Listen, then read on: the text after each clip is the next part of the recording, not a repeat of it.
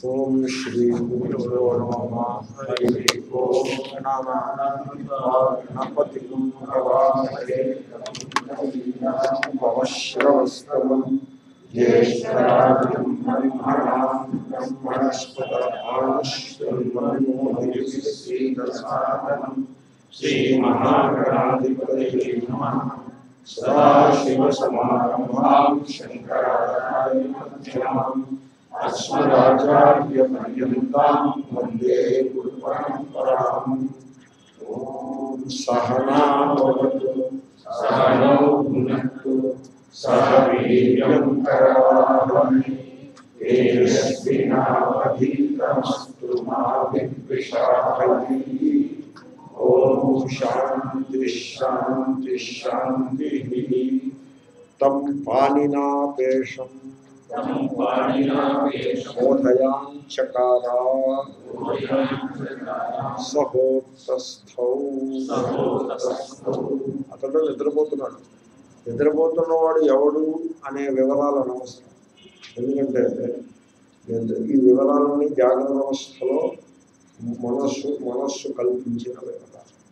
అవి యథార్థం కావు మనస్సు జాగ్రత్త అవస్థలో కల్పించిన మొత్తం వ్యక్తిత్వం అంతా అయథార్థం నీడ వంటి వాస్తవంలో వ్యక్తి ఎవరు లేదు వ్యక్తమే ఉంది. వ్యక్తి లేదు. వ్యక్తమే ఉంది. వ్యక్తం కూడా ఉంది అనడం కంటే కనబడుతుంది అంటే ఇంకా సొగసుగా ఉంటుంది అవ్యక్తము ముందు వ్యక్త. అవ్యక్తం అంటే ఇంద్రియ గోచరము కానిది. దాని ఎందు ఇంద్రియ అయ్యేది భాషిస్తుంది ప్రకాశం ముందు సినిమా కనపడ్డట్టు అయితే మేఘముల ఎందు ఏనుగులు కోట గోడలు అవి కనపడతాయి. దానికి గంధర్వ నగరం ఉండవు కనపడతాయి. ఉండ ఉన్నాయనుకోకూడదు కనపడడం వల్ల ఉన్నాయనుకుంటే జీవితం తెల్లారి కాబట్టి కనపడడం వల్ల ఉన్నాయనుకోకూడదు.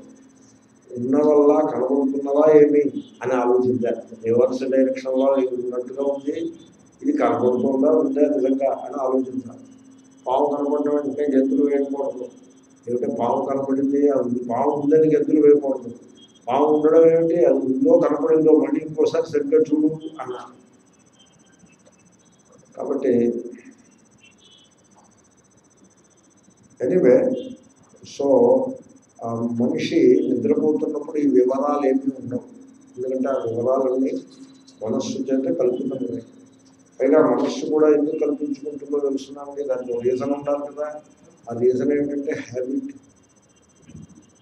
నిన్న ఫలానా నేను అని అనుకున్నారు. ఈవేళ నేను హ్యాబిట్ హ్యాబిట్ అవుతుంది ఇప్పుడు ఎలాగంటే పుత్రుడు జన్మించాడు అని వార్త వచ్చింది అనుకోండి అప్పుడు వీడు నేను తండ్రిని అని వెంటనే అలా ఫిక్స్ అవ్వదు కొంచెం టైం పడుతుంది ఫిక్స్ అవ్వదు ఏదో పార్టీ చేస్తాడు ఫ్రెండ్స్ అందరూ కలిసి కంగ్రాచులేట్ చేస్తారు ఇది చేస్తారు అది చేస్తారు అప్పుడు ఉత్తరం వస్తుంది మీ భార్య మీ కుమారుడు వస్తున్నారు బస్సుకు వస్తున్నారు బస్సుకు వచ్చి రిసీవ్ చేసుకోవాలని అని మామగారు ఒక ఆత్మక రాస్తాడు అప్పుడు వీరికి కరెక్ట్ నేను తండ్రిని కదా అని అప్పుడు ఫిక్స్ అవుతుంది ఇంకా అప్పటి నుంచి ఆ ఫిక్సేషన్లో ఉంటాడు.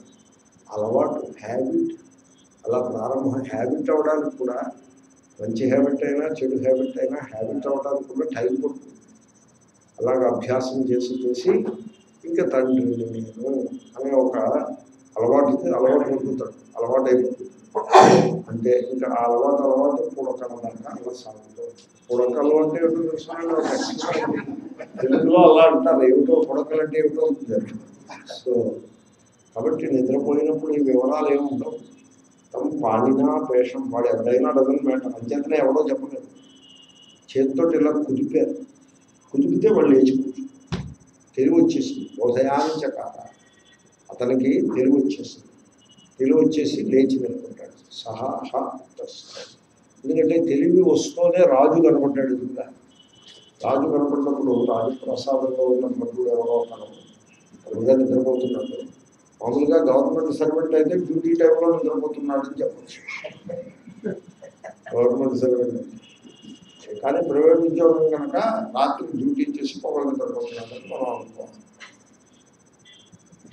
నైట్ డ్యూటీ ఆఫీసర్ అని ఒక ఉద్యోగం ఉంటుంది నైట్ డ్యూటీ ఆఫీసర్ అని పేరు. ఏమంటే నైట్ డ్యూటీ ఆఫీసర్కి వెళ్తే వీడు ఒక్కడే వితుకు వితుకు పట్టు తెలివిగా ఉన్నవాడు వీడు ఒక్కడే. నైట్ డ్యూటీ ఆఫీసర్ ఒక్కడే తెలివిగా ఉన్నాడు. మొత్తం అందరూ కూడా గుడ్డు పెట్టి నిద్రపోతున్నారు. అందుకు వీడు ఒక్కడే తెలివిగా ఉండి ఆ తెల్లవాళ్ళు దోశ తోలుకుంటూ నైట్ డ్యూటీ ఆఫీసర్ ఒక్కడే తెలివిగా ఉంటాడు. నిజంగా. సో వాళ్ళు లేచి కూర్చున్నాడు. ఆ ప్రసంగంలో ఉన్నాం మనం. ఆ, తథా శబ్దాది పటుమాంద్యాధికృతశ్చ అంటే అక్కడ శబ్దాది పటుమాంద్యాధికృతశ్చ ఏమిటంటే ఇప్పుడు పిలిచారు అనుకోండి వాడు నిద్రపోతున్నాడు. దగ్గరికి వెళ్ళి ఏదో గుసగుసలాగా పిలిచారు. నిద్ర లేవడం. ఇంకొంచెం గట్టిగా పిలిచారు. అప్పుడు నిద్ర లేవడం. బాగా గట్టిగా పిలిచారు. అప్పుడు నిద్రలేస్తారు ఈ గుసగుసలుగా పిలిచిన దానికి కొంచెం మెల్లగా పిలిచిన దానికి సంఘాతం వైపు నుంచి తేడా ఏముంది? సంఘాతమే భోక్త ఈ పక్షంలో. దుసపూసలతో పిలిచిన దానికి మెల్లిగా పిలిచిన దానికి తేడా ఏముండదు. ఎందుకంటే రెండు సంఘాతం మీద పనిచేస్తాయి. కానీ సంఘాతం వ్యతిరిక్తమైనది భోక్త అయినట్లయితే గుసగుసలుగా పిలిచినప్పుడు మెల్లగా పిలిచినప్పుడు ఆ సంఘాతం వ్యతిరిక్తమైన భోక్తకి ఆ లింక్ పడలేదు. అంచేత తెలివి రాలేదు. గట్టిగా పిలిస్తే సంఘాతం వ్యతిరిక్తమైన భోక్తతో కనెక్షన్ వచ్చింది. కాబట్టి వాడు తెలిసారు తెలివి తెలివి తెలివి వచ్చింది. కాబట్టి గుసగుసలుగా పిలిచిన మెల్లగా పిలిచిన లేవని వాడు గట్టిగా పిలిస్తే లేచాడు. దానిని బట్టి సంఘాతం వ్యతిరిక్తమైనదియే భోక్త అని తేలింది శబ్దం. శబ్దాది పటు మాంద్యాది కృతశ్చ తేడా ఏమిటి కృతము? పటు మాంద్యాదుల చేత చేయబడ్డది ఏమిటి తేడా విశేషం. ఆ విశేషాన్ని బట్టి మీరు సంఘాతము భోక్త కాదని నిర్ధారణ చేస్తారు. ఆది శబ్దం చేత స్పర్శ తీసుకున్నాను ఆహ్వాన శబ్దము అంటే పిలిచే శబ్దము తీసుకున్నాము. స్పర్శ. వాళ్ళు నిద్రపోతుంటే వెళ్ళి ఇలా పుట్టుకున్నారనుకోండి లేవడం. కొంచెం నొక్కారనుకోండి లేవడం. అంటే సంఘాతం భోక్త కాదన్నమాట సంఘాతం భోక్త అయితే ఇలా ముట్టుకున్న దానికి కొంచెం నొక్కిన దానికి తేడా ఉంది బాగా నలిపేశారనుకోండి మనుషులు పట్టుకుని లేచి కూర్చుంటాడు పాలిన ఆపేషం ఆపిష్య ఆపిష్య శంకరం అప్పుడు లేచి కూర్చుంటాడు అంటే సంఘాతం భోక్త కాదు. సంఘాతం భోక్త అయితే ముట్టుకుంటే లేచేయాలి సంఘాతం వ్యతిరిక్తమైనది భోక్త గలదు ఆ ప్రసంగంలో ఉన్నాను. అస్తి చ అయం విశేష. దాన్ని వివరిస్తున్నారు ఆ వివర విశేషాన్ని విశేషం అంటే తేడా ఉండదు. ఈ తేడా ఉంది. ఏమిటా తేడా? అయం అంటే అయం అంటే కంటికి కనపడే తేడా. ప్రత్యక్షంగా మనకు తెలుస్తూ ఉంటుంది ఆ తేడా. ఏమిటి తేడా అంటే ఉత్థానే విశేషం. ఇప్పుడు వాడు తెలివికి రావడంలో విశేషం. మెల్లగా ముట్టుకుంటే తెలివి రాదు.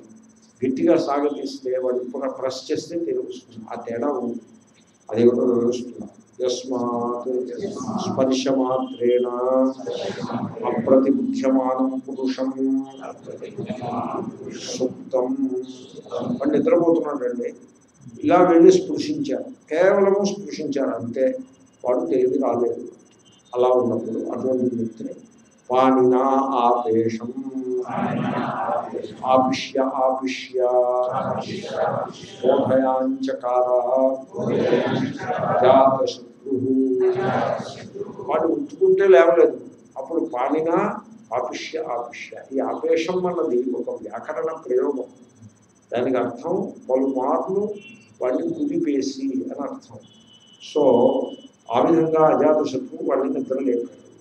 ఇప్పుడు స్పృశిస్తే లేవని వాడు ఇలా కుదిపేస్తే లేచాడు అన్నదానికి దాన్ని బట్టి మనకి ఏం తెలుస్తుందంటే సంఘాతం వ్యతిరిక్తమైన భోక్త ఒకటి ఉన్నది అని తెలుసుకోండి ఆ భోక్త ఎవరు? ప్రాణమైతే కాదు ప్రాణం ఉంది కదండి. ప్రాణానికి మాత్రం తేడా ఏం పడుతుంది? సంఘాతము భోక్త కానట్టుగానే ప్రాణం కూడా భోక్త కాదు. రెండు ఉన్నాయి కదా. స్పర్శ మాత్రం చేత రెండు కూడా రెండింటికి సేమే ఆర్గ్యుమెంట్ సేమే రెండింటికి. మనం ప్రాణము భోక్త కాదు అని మొదలుపెట్టాము. మొదలుపెట్టి తర్వాత ఈ కరణములు భోక్త కావు అని మధ్యలో యాడ్ చేసుకున్నాం. ఇంకా సంఘాతమే భోక్త అని హేతువాదులు నాస్తికులు అంటారు కాబట్టి వాళ్ళ సిద్ధాంతాన్ని కూడా పరిగణనలోకి తీసుకుని తిరస్కరించారు ఇప్పుడు అసలు భోక్త ఎవరో చెప్పాలి. అది చెప్తున్నాను తస్మాత్. తస్మాత్ అంటే అందువలన. ఎందువలన అంటే ప్రతిబోధే విశేష దర్శన. నిద్ర లేవడంలో తేడాలు ఉన్నాయి. కేవలం స్పృశిస్తే నిద్ర లేవలేదు. గట్టిగా వాడిని కుదిపితే నిద్ర లేచాడు. ఈ తేడా కనపడుతుంది కదా. ఈ విధంగా కేవల స్పర్శకి కుదిపిన దానికి నిద్ర లేచుట అనే అంశమునందు తేడా ఉండ ఉండుట వలన అని అర్థం తస్మాత్. ఏమన్నా రాసామా అలాగా? ఇక్కడ కొద్దిగానైనా రాసామా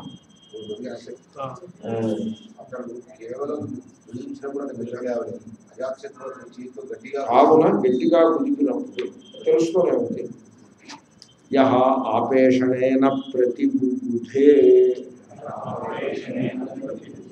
ఎవడండి లేచిన వాడు ఇలా గట్టిగా కుదిపితే లేచాడు చూసారా? వాడు ఎవడు? అది అది ఏది? ఎవడో యహ అంటే ఎవడో అనక్కర్లా. ఏది అని కూడా అనొచ్చు. అది ఏది? ఎందుకంటే సంఘాతం అయితే కాదు. సంఘాతం సంఘాతం అయితే ముట్టుకుంటేనే లేవాలి. ప్రాణం అయితే కాదు. ప్రాణం అయితే కూడా ముట్టుకుంటేనే లేవాలి. పిలిస్తేనే లేవాలి అసలు ఇప్పుడు లేచింది ఎవరు?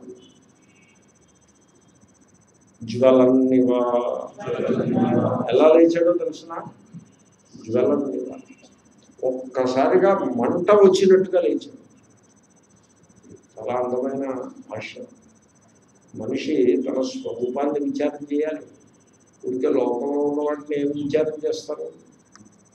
ఏం విచారం చేస్తారండి ఇప్పుడు లోకంలో ఇప్పుడు పార్టీలు ఉంటాయి. ఈ పార్టీ ఇలా చేసింది ఆ పార్టీ అలా చేసింది. ఎవరు విచారం చేస్తారు. దాంట్లో విచారం చేయడానికి ఏముంది? ఏమీ లేదు. మీరు ఏ రకమైన నిర్ణయం తీసుకున్నా ఆ నిర్ణయం సత్యమైనా కాకపోయినా పోయి ఫరక్ నహి పడేగా. ఏముంది? తేడా ఏముంటుంది? లోక వ్యవహారాలు అలా ఉంటాయి. తర్వాత రిలీజియంలో విష్ణువు గొప్ప శివుడు గొప్ప విచారం చేశారనుకోండి ఏం తెలుస్తుంది మీకు దాంట్లో తెలియదే ఉంటుంది లేకపోతే ఓ లింగాన్ని చూపించి ఇది స్వయంభూ లింగమా లేకపోతే దేవతలు పెట్టిందా? లేకపోతే మనుషులు పెట్టిందా? విచారం చేశారనుకోండి మూడు రకాల లింగాలు ఉంటాయి. స్వయంభూ దేవతలు పెట్టింది మనుషులు పెట్టింది. ఏం తెలుస్తుంది?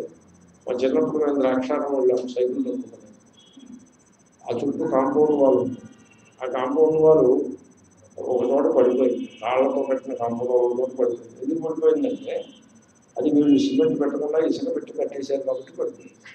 ఎందుకంటే పూర్ పూర్ కన్స్ట్రక్షన్ కాబట్టి పడిపోయింది ప్రభుత్వం పనులు అలాగే ఉంటాయి. పడిపోతే మాకు ఏమని చెప్పారంటే ఇది పడిపోతే మళ్ళీ దేవతలే వచ్చి కట్ట రాక్షసులు పడగొచ్చేసారు మళ్ళీ దేవతలు వచ్చి కడతారు అని చెప్పారు. అప్పుడు నేను ఒక ప్రశ్న అడిగాను. ఆయన ఏమంటే కొన్ని మనుషులు కట్టచ్చు కదా? దేవతలు వచ్చేదాకా ఆగడం ఎందుకు? అని అడిగాను. అడిగితే మనుషులు కడితే అది నిలబడితే మళ్ళీ పడిపోతుంది. కాబట్టి దేవతలు అయితే మరి దేవతలు వచ్చి కట్టచ్చు కదా? అంటే మరి దేవతలు రాత్రి పూటే వస్తారు పొగలు కాదు రాత్రి వాళ్ళకి ఎలా కనపడుతుందంటే వాళ్ళకి దివ్య చక్షు ఉంటుంది కనపడుతుంది వాళ్ళు రాత్రి వచ్చి కట్టి వెళ్తారు. అందుకోసం అలా వదిలిపెట్టేశారు. అని చెప్పారు. చెప్తే నేను నిజం. నిజం అనుకుని సేవకి దండం పెట్టుకుని మళ్ళీ సైకిల్ ఎక్కి అలా తొక్కుని తొక్కుని మనిషి సగం అయ్యి ఇంటికి వెళ్ళాను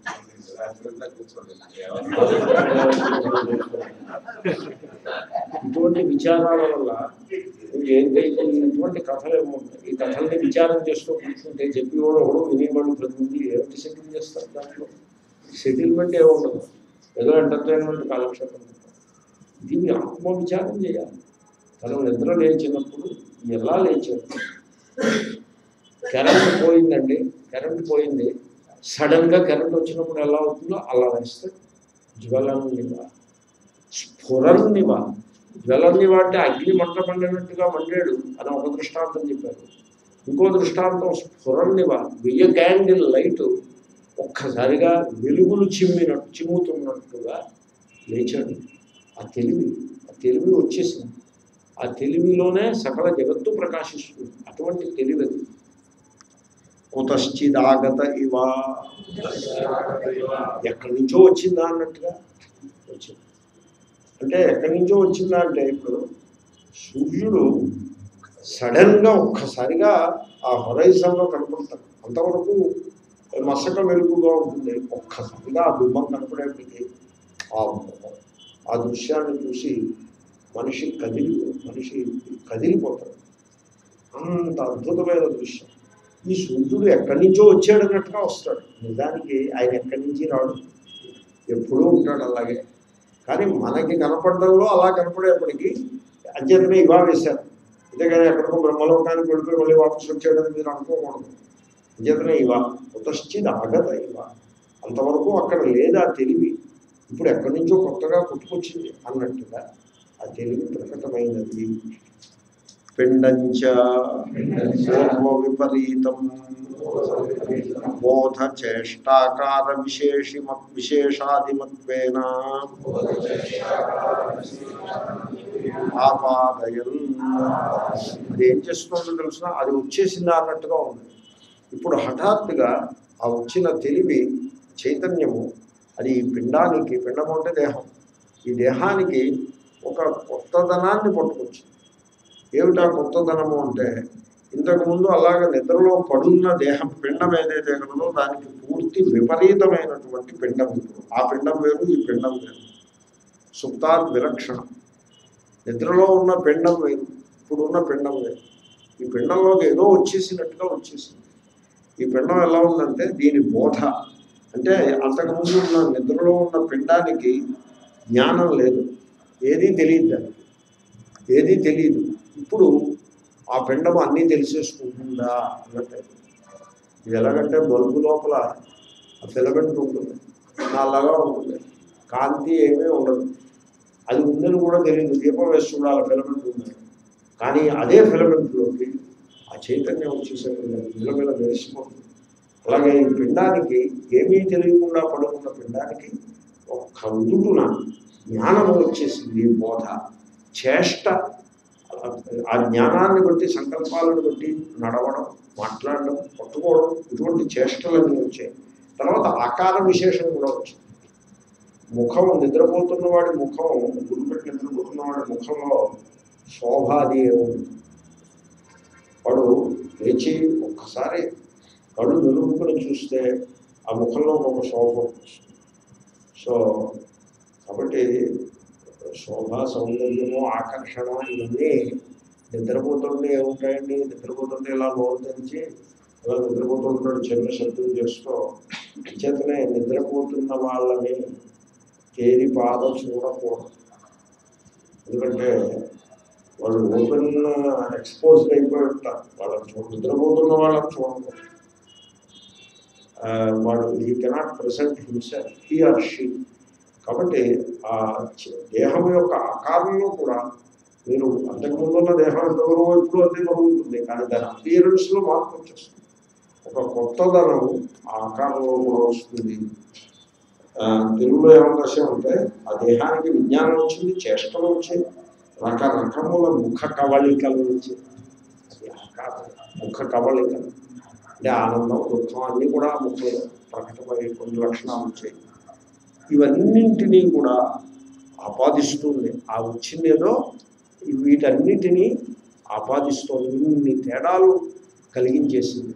ఇప్పటి పిండానికి నిద్రపోతున్న పిండానికి ఇంతటి విశేషాన్ని పట్టుకొచ్చి పెట్టింది ఆ వచ్చిందేదో అని అది అది ప్రాణమైతే కాదు. సహా అన్య అస్తి. దేహము కంటే విలక్షణం అన్య అంటే ప్రాణము కంటే విలక్షణం అది. అది ఏదో తర్వాత చూద్దాం. దేనికంటే విలక్షణమో చెప్తారు తప్ప అది ఏదో చెప్పను ఎందుకంటే సర్వము దాని ఎందు తెలుస్తాయి. దాన్ని తెలియవాడేవాడు దేహము దాని ఎందు తెలుస్తుంది. ప్రాణము దాని ఎందు తెలుస్తుంది. అది దేహం కంటే ప్రాణము కంటే విలక్షణమైనది. అది యథార్థమైన భోక్త. ఈ భోగ్యమునంతరం ప్రకాశింపజేసేది అది అస్థి ఉంది. ఎప్పుడు కూడా అస్థి అని ముందుకు వెళ్ళాలి తప్ప నాస్తి అని ముందుకు వెళ్ళకూడదు. అస్థి. సహాన్య అస్తి. అది గార్గ్యుడు బ్రహ్మను పట్టుకున్నాడు. సూర్యుడు బ్రహ్మ అన్నాడు సూర్యమండలానికి పరిమితమైన బ్రహ్మ. చంద్రమండలానికి పరిమితమైన బ్రహ్మ. ఇలాగ పన్నెండో పదమూడో బ్రహ్మలు పట్టుకున్నాడు. ఈ బ్రహ్మ ఇది వాటిల్లో ఏది అంటే వాటిల్లో ఏది కాదు. వాటి వాటన్నిటికంటే విలక్షణమైనది. గార్గ్యాభిమత బ్రహ్మభ్య. వ్యతిరిక్త ఇది సిద్ధం అది మనకు సిద్ధించింది కాబట్టి స్పష్టంగా గాంధ్యుడు అనుకున్న బ్రహ్మలు పన్నెండు పదమూడు అవేమి కాదు ఇదే అదే అవి ఏమి కాదు వాటన్నిటికంటే విలక్షణమైన బ్రహ్మ అని సిద్ధించింది ఎంత బాగుంటుందన్న వాక్యం ఈ వాక్యాన్ని ఆలంబనంగా చేసుకుని మనిషి తన స్వరూపాన్ని విచారణ చేసుకోవాలి అది తన స్వరూపం తర్వాత ప్రాణము భోక్త కాదు. ఇంకా ఆ విచారం అప్పుడే అయిపోలేదు. ఈ ప్రాణానికి ఆ విలక్షణమైన ఆత్మ చైతన్యానికి మధ్యలో రిలేషన్షిప్ ఏమిటి అది తేల్చాలి. ప్రాణం భోక్త కాదన్నాం కదా. అది అది చెప్తున్నారు సంహతత్వాచ పారాక్షోపత్తి ప్రాణస్య. ఇక్కడ ఒక నియమం ఉంది. ఇది సాంఖ్యుల నియమం. వేదాంతులు కూడా ఈ నియమాన్ని వర్తింప స్వీకరిస్తారు. సిద్ధాంతం. ఈ సిద్ధాంతాన్ని మీరు కొంచెం జాగ్రత్తగా అర్థం చేసుకోవాలి. కష్టమేం కాదు కానీ గమనించదగ్గది. ఇప్పుడు ఇల్లు దృష్టాంతం తీసుకోండి. ఇల్లు ఉంది. ఇల్లు అంటే ఏమిటి? సంహతము. అనేకమును ఒక చోట చేరిస్తే అది ఇల్లు అవుతుంది. శంకరులు ఆ ఇల్లుని చెప్పారు. ఆయన. కేరళలో ఆ రోజుల్లో ఇల్లు కట్టుకునే పద్ధతి మనసులో పెట్టుకుని చెప్పారు ఆయన ఎలా ఇల్లు అంటే ఎలా వచ్చిందంటే ఆయన ఏమన్నారంటే మట్టి ముద్దలు మట్టి ముద్దలు చేసుకుంటారు ముందు మట్టిని బాగా కొట్టి తొక్కి నీళ్ళతో కలిపి తొక్కి దానికి ఏమో కొన్ని సున్నం అలాంటివి యాడ్ చేస్తే యాడ్ చేసి మట్టిని బాగా చక్కగా పదునుగా తయారు చేసుకుంటారు తయారు చేసుకుని ఆ మట్టిని ఇంతంత ఉండల కింద చేసుకుంటారు ఆ ఉండ అక్కడ పెడతారు. అలా పక్క పక్కన అలా ఉండ కింద పెట్టుకుంటూ పోతారు. అది గోడ అన్నమాట. కొంచెం తవ్వి అడుగు నుంచి పేర్చుకుంటూ వస్తాడు ఉండలు. అవి నేల మట్టానికి వచ్చిన తర్వాత మళ్ళీ ఉండలను అలా పేర్చుకుంటూ పోతాడు. అది గోడ. దాని గోడని పేరు అది గోడ కాదు అది ఉండలు. మట్టి ఉండలు. దానికి మనం గోడని పేరు పెడతాం. ఆ తర్వాత ఏం చేస్తాడంటే గుడ్డు దాగు చెక్కలు తీసుకొస్తాడు. కట్టెలు వాసాలు తీసుకొస్తాడు. తీసుకొచ్చి ఆ మట్టి మీద మధ్యలో ఇంకో రెండు కట్టెలు నిలబెట్టి ఆ వాసాలను నిలబెడతాడు. అది రెండో అంశం. మట్టి ముద్దలు చక్కెర కట్టెలు తర్వాత ఈ అక్కడ కేరళలో అయితే ఈ పొంగ ఈ బీట్స్ రెల్లుగడ్డి రెల్లుగడ్డి తీసుకొస్తారు. అది చక్కగా అమరుస్తారు. ఆ రెల్లుగడ్డి ఎగిరిపోకుండా ఉండడం కోసం దాని మీద కూడా మళ్ళీ మట్టి ముద్దలనే పేరుస్తారు. కాబట్టి ఇల్లు అంటే ఏమిటి? మట్టి ముద్దలు రెల్లుగడ్డి కట్టెలు. ఈ మూడింటి యొక్క సంఘాతము మూడు ఒక చోటకి చేరిస్తే దాన్ని సంహతము అంటారు. సంహతం అంటే ఒక చోటకి చేర్చాలి. ఒక చోటకి చేరిస్తే అది ఇల్లు అయింది ఇప్పుడు ఈ మూడు ఒక చోటకి వచ్చాయి. అంటే వాటంతటా అవి నడిచి వచ్చాయని నా అభిప్రాయం కాదు. మొత్తానికి వచ్చి ఎవరో పెట్టారు కదా అక్కడ. ఈ మూడు జడములు మూడు సంహతములు మీరు జడాలనే సంహతం చేయగలుగుతారు. జడాలు కాని వాటిని సంహతం చేయలేరు. మూడు జడములు నెంబర్ వన్. ఈ మూడు సంహతములు అంటే ఒక చోటకి చేర్చబడినవి ఒక పద్ధతిలో చేర్చబడినవి. ఇటువంటి పరిస్థితి మీకు ఎక్కడ కనబడినా ఈ సంహతమైన ఇల్లు ఏది గలదో ఇది ఈ మూడింటి కంటే విలక్షణమైన మరి ఒక తత్వము యొక్క భోగము కొరకు ఉద్దేశించబడుతుంది. ఆ మరి ఒక తత్వం పేరే మనిషి. చేతనుడైన మనిషి యొక్క భోగము మనకు ఉన్నది.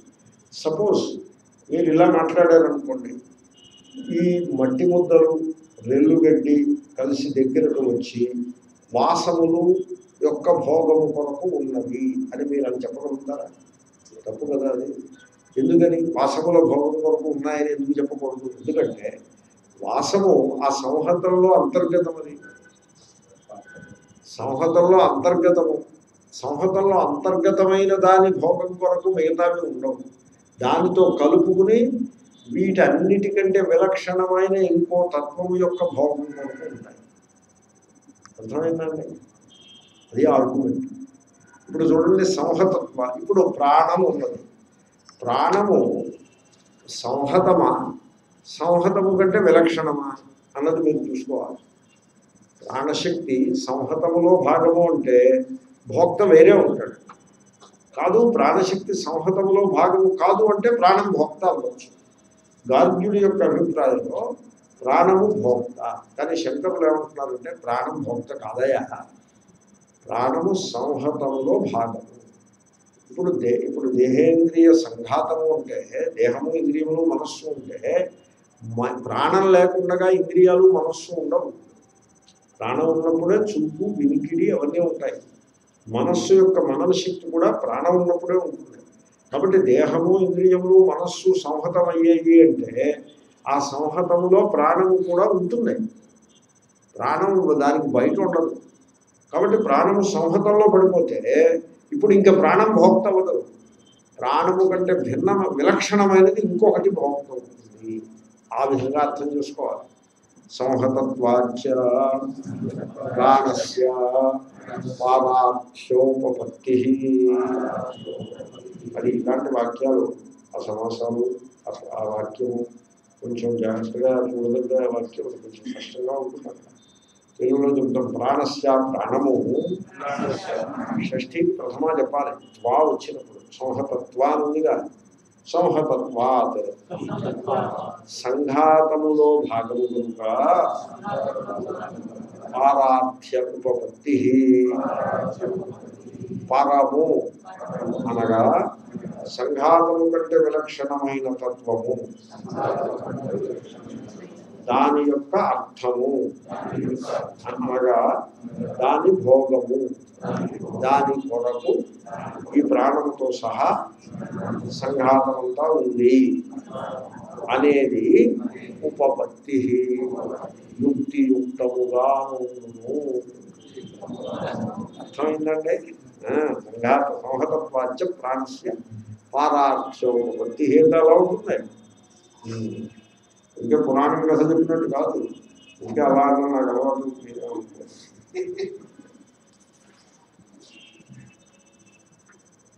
ఇక్కడ ఏమని రాశామంటే మరియు శరీరాదులతో కలిసి ఉండేది కనుక ప్రాణము తనకంటే విలక్షణమైన పర అంటే విలక్షణమైన పర అంటే ఉత్కృష్టమైన రెండు అర్థాలు ఉన్నాయి. పరహ అన్యహ పరహ ఉత్తమ రెండు అర్థాలు ఉన్నాయి. రెండో అర్థం కూడా రాశాం. ఉత్కృష్టమైన దాని కొరకు ఏమిటది? చైతన్య ఆత్మ. దాని కొరకు పని చేయము అని చెప్పుటయే యుక్తము. దానికి దృష్టాంతం. నేను చెప్పిన దృష్టాంతమే? గృహస్య స్తంభాధిపతి నేను చెప్పాను కదా వా- ఇప్పుడు గృహానికి ఇల్లు కట్టారు. మట్టి ముద్దలు రెల్లు పెట్టి వాసనలు పెట్టి ఇల్లు కట్టారు. ఇవి నిలబడాలంటే మధ్యలో ఏముంటాయి? పిల్లర్స్ ఉంటాయి. వాటికి పేరేమిటి స్తంభములు కాబట్టి ఇప్పుడు ఈ మట్టి ముద్దలు ఈ వాసములు రెల్లు పెట్టి స్తంభముల యొక్క భోగము కొరకు ఉన్నది అని చెప్పగలరా? చెప్పకూడదు. ఏమిటంటే స్తంభాల భోగానికి వెళ్ళి ఉన్నాయి అవును ఎందుకంటే వీటన్నింటినీ స్తంభమే నిలబెడుతోంది. స్తంభములే నిలబెడుతున్నాయి. కాబట్టి ఇల్లంతా దేని యొక్క భోగం కొరకు ఉన్నది? బ్రహ్మ విద్యా ఉంటే దేని భోగం కొరకు ఉంది అంటే పిల్లర్స్ యొక్క భోగం కొరకు ఉన్నది అనకూడదు. నిజానికి ఇప్పుడు సరిగ్గా మీరు కూర్చుంటున్న చోట ఈ ఫ్యాన్ డౌన్లో పిల్లర్ వాళ్ళు ప్లాన్ చేశారు. నేను చెప్పాను అలా పెట్టకుండా నేను ఇక్కడ కూర్చుని పాఠం చెప్తే ఈ పిల్లరేవుడు ఏమిటో కాబట్టి ఆ పిల్లలు అక్కడ పెట్టద్దు. అంటే పక్కకి ఎక్కడికో జరిపారు. ఇట్ ఈస్ దేర్ ఎక్కడో ఉంది. నేను వచ్చి చూసి పిల్లలు ఇక్కడ ఉండడానికి వీలు లేదు. అంటే వాళ్ళు అన్నారు పిల్లలకి ఇటువంటి కుర్చీలు వేసుకుంటారు. అలా కుదరదు ఆ మధ్యలో పిల్లలు ఉంటే నేను పాఠం చెప్తుంటే ఎదురుకుండా స్తంభాన్ని చూసి పాఠం చెప్తాను. అప్పుడు దాన్ని మార్చాను.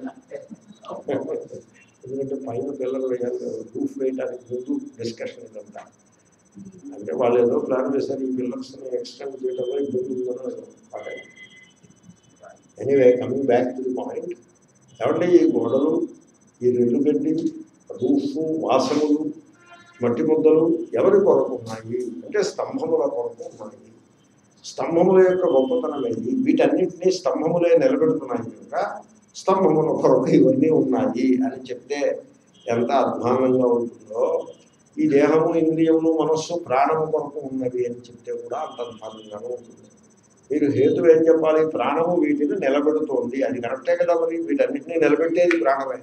కాబట్టి ప్రాణము యొక్క భోగం కొరకు ఇవి ఉన్నాయి అని చెప్పడం ఎలాగంటిదంటే స్తంభముల యొక్క భోగము కొరకు ఇవన్నీ ఉన్నాయని చెప్పినట్టు. ఎందుకంటే స్తంభములు నిలబెడతాయి కనుక. గృహస్య స్తంభాదివత్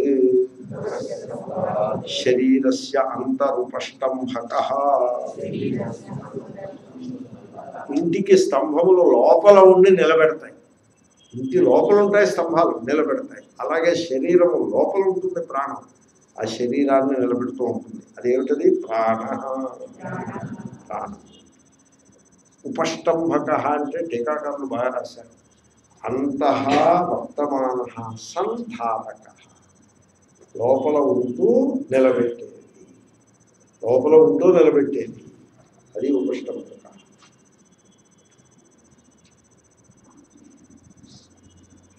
ఇంటికి స్తంభములు బరువును కాసే గోడలు మొదలగునవి మరి ఇక్కడ ఆది శబ్దం చేత లోడ్ బేరింగ్ వాల్స్ తీసుకోవాల్సి వచ్చింది. స్తంభాదివత స్తంభం అన్నారు స్తంభ ఆదివత అన్నారు కాబట్టి లోడ్ బేరింగ్ వాల్స్ని ఆది శబ్దం చేత తీసుకోవాల్సి వచ్చింది. తీసుకుని అవి ఎలాగో ఈ ప్రాణం అలాంటివి ప్రాణ అది ప్రాణం. ఈ ప్రాణము భోక్త అవడానికి వీల్లేదు. ఎందుకని? శరీరాదిభి సంహత. శరీరము ఇంద్రియములు వీటన్నిటితోటి కలిసి ఉంటుంది అది అది కూడా సంహతములో భాగంగా ఉంటుంది. ఇత్యవోచామా సమ్మిళిత. సంహత అంటే సమ్మిళిత. వాటన్నింటిలో కలిసిపోయి ఉంటుంది. ఈ సంగతిని మేము ఇంతకుముందే చెప్పినాము. ఎక్కడ చెప్పారండి? రెండో అధ్యాయం ఆరంభంలో శిశు బ్రాహ్మణమును ఉంది అక్కడ చెప్పారు. శిశు అక్కడ చెప్పారని గుర్తు మంచిది. అదొక దృష్టాంతం ఇంకో దృష్టాంతం. అరనేమి వచ్చా? అర అంటే ఆకులు. చక్రానికి ఆకులు ఉంటాయి. అర. నేమి అంటే నడిమి తూము. నడిమి అంటే మధ్యలో ఉండే తూము. బండి చక్రం ఎప్పుడైనా చూసారా? బండి చక్రాలకు మధ్యలో తూము ఉంటుంది మధ్యలో. హబ్బు. దానికి చుట్టూ ఆకులు ఉంటాయి. ఈ ఆకులు ఎందుకు కొరకు ఉన్నాయి తూము కొరకు ఉన్నాయి చెప్పకూడదు.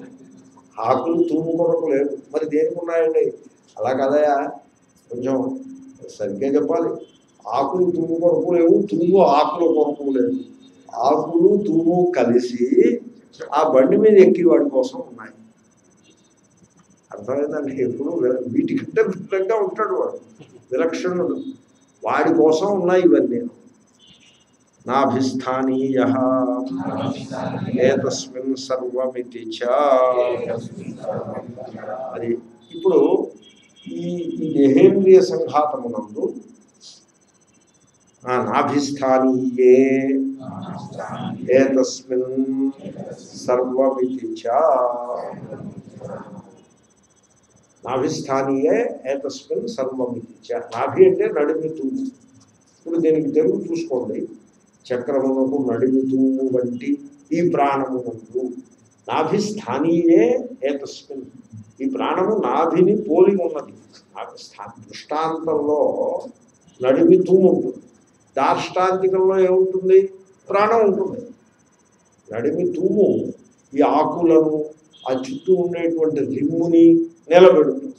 అలాగే ఆ నడిమి తూమెట్టిదో అది దృష్టాంతం. దార్ష్టాంతికంలో ప్రాణము అట్టిది. ఈ ప్రాణము ఇంద్రియములను దేహమును అలా నిలబెట్టుంది.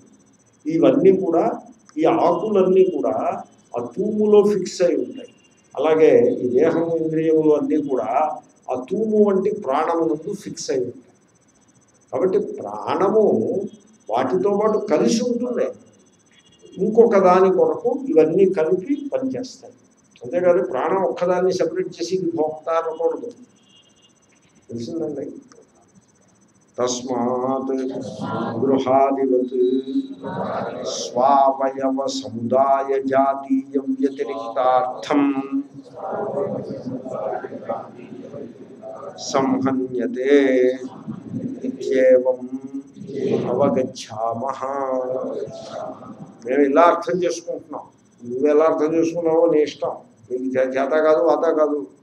మేము ఇలా అర్థం చేసుకుంటున్నాం. అవగచ్చామ చేతనైతే పట్టుకో మేము అర్థం చేసుకుంటున్న విధానం అని అంటున్నారు శంకర్లు. తస్మాత్ అందువలన. అందువలన అనగా ఎందువలన? ప్రాణము సంహతము కనుక. ప్రాణము కూడా ఈ దేహము ఇంద్రియములు ఎలా అయితే సంఘాతములో భాగములై ఉన్నాయో అదే సంఘాతంలో ప్రాణము కూడా కలిసి ఉంది కనుక గృహాదివత్ సరిగ్గా గృహము ఈ గోడలు రూఫు వీటితో పాటుగా స్తంభము కూడా కలిసి ఉన్నట్టుగా అలా ఉంది కనుక ఇప్పుడు ఈ ప్రాణము మిగతా వాటన్నిటితోటి కలుస్తుంటుంది స్తంభాలన్నీ మిగతా స్తంభాలు మిగిలిన గృహావయవములతో కలిసి ఉన్నాయి స్తంభములు కూడా. ఉండి ఆ మిగిలిన గృహావయవములతో పాటుగా మరి ఒక దాని కొరకు ఉన్నవి మరి ఒక దాని భోగము కొరకు ఉన్నవి సరిగ్గా అదేవిధంగా ఇక్కడ కూడా సో ఇవన్నీ కూడా ఒకే జా జాతికి చెంది ఉంటాయి. స్వ అంటే తాను తన యొక్క అవయవములు స్వ అంటే ప్రాణం. ప్రాణము యొక్క అవయవములు ఏమిటి? ఇంద్రియములు కర్మేంద్రియములు జ్ఞానేంద్రియములు దేహం ఇవన్నీ కూడా ఆ ప్రాణమునకు గుచ్చుకుని ఉన్నాయి. అవి ఏ జాతికి చెందినవో ప్రాణము కూడా అదే జాతికి చెందుతుంది అవి ఏ జాతికి చెందాయి? జడములు పరార్థములు అంటే మరి ఒకదాని భోగము కొరకు ఉద్దేశించబడినవి. సంహతములు. ఇది జాతి లక్షణం. ఈ మూడు లక్షణములు ఈ శరీరములకు దేహము ఇంద్రియములకు ఉన్నాయి. ఆ లక్షణాలన్నీ కూడా ప్రాణానికి కూడా ఉన్నాయి. ప్రాణము జడము కదులుతుంది తప్ప చేతనము కాదు. జడము అంటే కదలడం కదలకపోవడం కాదు జడత్వం. జడము అంటే అర్థం ఏంటో తెలుసునండి తనము తాను తెలియలేదు ఇతరము తెలియలేదు. చేతనము అంటే తనను తాను తెలుసుకుంటుంది ఇతరము తెలుసుకుంటుంది. ఇది జడచేతన విభాగం. వేదాంతుల జడచేతన విభాగం. కదిలేది కదలనిది కాదు. కదలకపోవడం అంటే అన్నీ కదిలివే. దేహము కదులుతూ ఉంటుంది అన్నీ కదులుతూ ఉంటాయి. ఎప్పుడు కదులుతూనే ఉంటుంది. దేహమే అక్కర్లేదు ఈ టేబుల్ కూడా కదులుతూ ఉంటుంది ఎప్పుడు. అంచేతనే ఆ పైన బిగించిన ఈ రొంత ఎందుకని ఎప్పుడు కదులుతూ ఉంటుంది కాబట్టి ఎప్పుడు కదులుతూ ఉంటుంది దాని లక్షణం కదలు కాబట్టి దాన్ని బట్టి చేతలు వరకు అది ప్రా అది చేతలు వలకూడదు కాబట్టి తను ఏ జాతికి చెందింది? దేహము ఇంద్రియములు వీటి జాతికి చెందింది అంటే ఏమిటి ఆ జాతి లక్షణాలు? జడము పదార్థము సంహము. ఈ లక్షణాలన్నీ ప్రాణము ఉన్నాయి. కాబట్టి ప్రాణము కూడా వాటితో కలిసిపోయి వీటన్నిటికంటే ప్రాణముతో సహా వీటన్నిటికంటే విలక్షణమైన ఆత్మ చైతన్యం కొరకు ఉన్నాయి అని మేము ఆ విధంగా అర్థం చేసుకుంటున్నాం. నువ్వెలా అర్థం చేసుకుంటున్నావు చూసుకో మళ్ళా. ఆ? కాబట్టి ఆత్మ చైతన్యం కొరకే ఈ సంఘాతం జరుగుతారు కొంచెం ఓపిక ఈ విచారంలో అలాగా ఊరికే కంగారు కంగారుగా నోట్లో రెండు ముద్దలు వేసుకుని పరిగెత్తినట్టుగా ఉండదు. భాష్యం అంటే కొంచెం అవకాశంగా నడుస్తుంది తర్వాత సమాసాలు పొడుగ్గా ఉంటాయి. నేను ఆ మొత్తం సమాసం అంతా చెప్తాను మీరు ఎలా చెప్తున్నానో పరిశీలించి మీరు కూడా అలా చెప్తే బాగుంది స్తంభ గుడ్య తృణ కాష్టాది గృహావయవానాం. చెప్పాను కదా శంకరులు వాళ్ళ నాన్నగారు ఇల్లు కొడుతుంటే చిన్నప్పుడు సహాయం చేసుకుంటారు పాపం. చేత అదే చెప్తున్నారు ఆయన. స్వాత్మజన్మోపచయాపచయ వినాశ నామాకృతి కార్యధర్మ నిరపేక్ష లబ్ధ సప్తాది తద్విషయ ద్రష్టృశ్రోతృ మంత్రు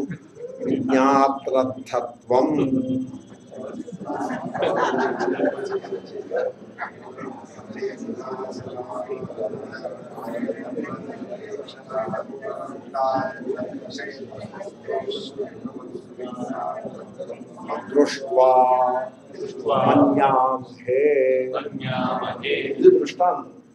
ఇదంతా దృష్టాంతం. మన్యామహే మేము ఇలా తలపోస్తున్నాం. మీరు మీరు ఎలా తలపోసుకుంటారో మీరు చూసుకోండి. మేము తలపోసి విధానం ఇలా చెప్తున్నాం. నేను చూశాను దృష్ట్వా. ఏమిటి చూశారు? ఇప్పుడు గృహము యొక్క అవయవాలు ఉన్నాయి. అవయవం అంటే భాగం. గృహావయవం. ఏమిటవి స్తంభాలు ఉన్నాయి. గోడలు ఉన్నాయి. తృణము రెండు గడ్డి కాష్టములు అంటే స్తం వాసములు. కాష్టములు అంటే వాసములు ఉన్నాయి. ఈ ఆది శబ్దం చేతి ఇంకేదైనా పెట్టుకోండి. నేను ఓపికగా ఈ ఆది శబ్దం చేతి ఏదో పెడుతూ పెట్టుకుంటాను ఏదో ఒకటి పెట్టుకుంటా. తాటాకులు. నాకు ఆ సమయాలు గుర్తొచ్చింది ఏదో పెట్టాక ఇవన్నీ ఉన్నాయి. ఇవన్నీ గృహావయవములు. ఏమండి? స్వ అంటే గృహం. ఈ అవయవములు స్వ అంటే గృహం కావచ్చు ఈ అవయవములు కావచ్చు. తమ యొక్క ఉనికి స్వాత్మ తమ యొక్క ఉనికి ఈ గృహావయవములన్నీ ఉన్నాయి. ఏ ఉన్నాయంటే పుట్టే పుట్టే అంటే ఎవడో అక్కడ తీసుకొచ్చి పెట్టాడు. అదే పుట్టడం వాటికి వాటికి ఒక జన్మ ఉన్నది. అంటే తాటాకులను తీసుకొచ్చి అక్కడ పరిస్తే అది రూఫ్ అయింది. రూఫ్ అనేది పుట్టింది. ఏమంటే ఉపచయ ఆ రూఫ్ కొంచెం పెరిగింది. ఒక ఆకు మీద ఇంకొక ఆకు ఇంకొక ఆకు అలా పరుచుకుంటూ పోతే అది పెరిగింది. గోడ మీద మట్టి ముద్ద మీద మట్టి ముద్ద అలా పెట్టుకుంటూ పోతే పెరిగింది. అప్పచేయ వర్షాలు పడతాయి. వర్షాలు పడితే ఆకులు చిమికిపోయి ఊడిపోతూ ఉంటాయి. మట్టి ముద్దలు ఆ వర్షానికి కొట్టేస్తే ఆ మట్టి కరిగి వెళ్ళిపోతూ ఉంటుంది. ఇది గృహంలో ఉండే పరిస్థితి. ఉపచయ అంటే వృద్ధి అపచయ అంటే ఆ, తరిగిపోవుట. తరిగిపోవుట వినాశ. ఒకప్పుడు మొత్తం ఆకులు ఆకులన్నీ ఎగిరిపోయి రూఫంతా ఎగిరిపోయి వాసాలే మిగలొచ్చు కూడా. అది కూడా అవ్వచ్చు. నామ దానికి ఒక పేరు ఆ గృహానికి ఒక పేరు పెడతారు. ప్రతి వాళ్ళు ఇంటికి ఒక పేరు పెట్టుకుంటారు. మనిషి తనకు పెట్టుకుంటాడు కుక్క పిల్లలు పెడతాడు గృహానికి కూడా పెడతాడు. కారుకు పేరు పెడతాడు అలాగే గృహానికి ఏదో పేరు పెట్టారు లక్ష్మీ నివాస్. ఏదో some kind of a sentiment ఉంటుంది లేకపోతే డిజైన్ లక్ష్మీ నివాస్ అని పెట్టాడు అనుకోండి అంటే వాడికి బాగా డబ్బు కావాలని కోరుకున్నట్టు స్పష్టం.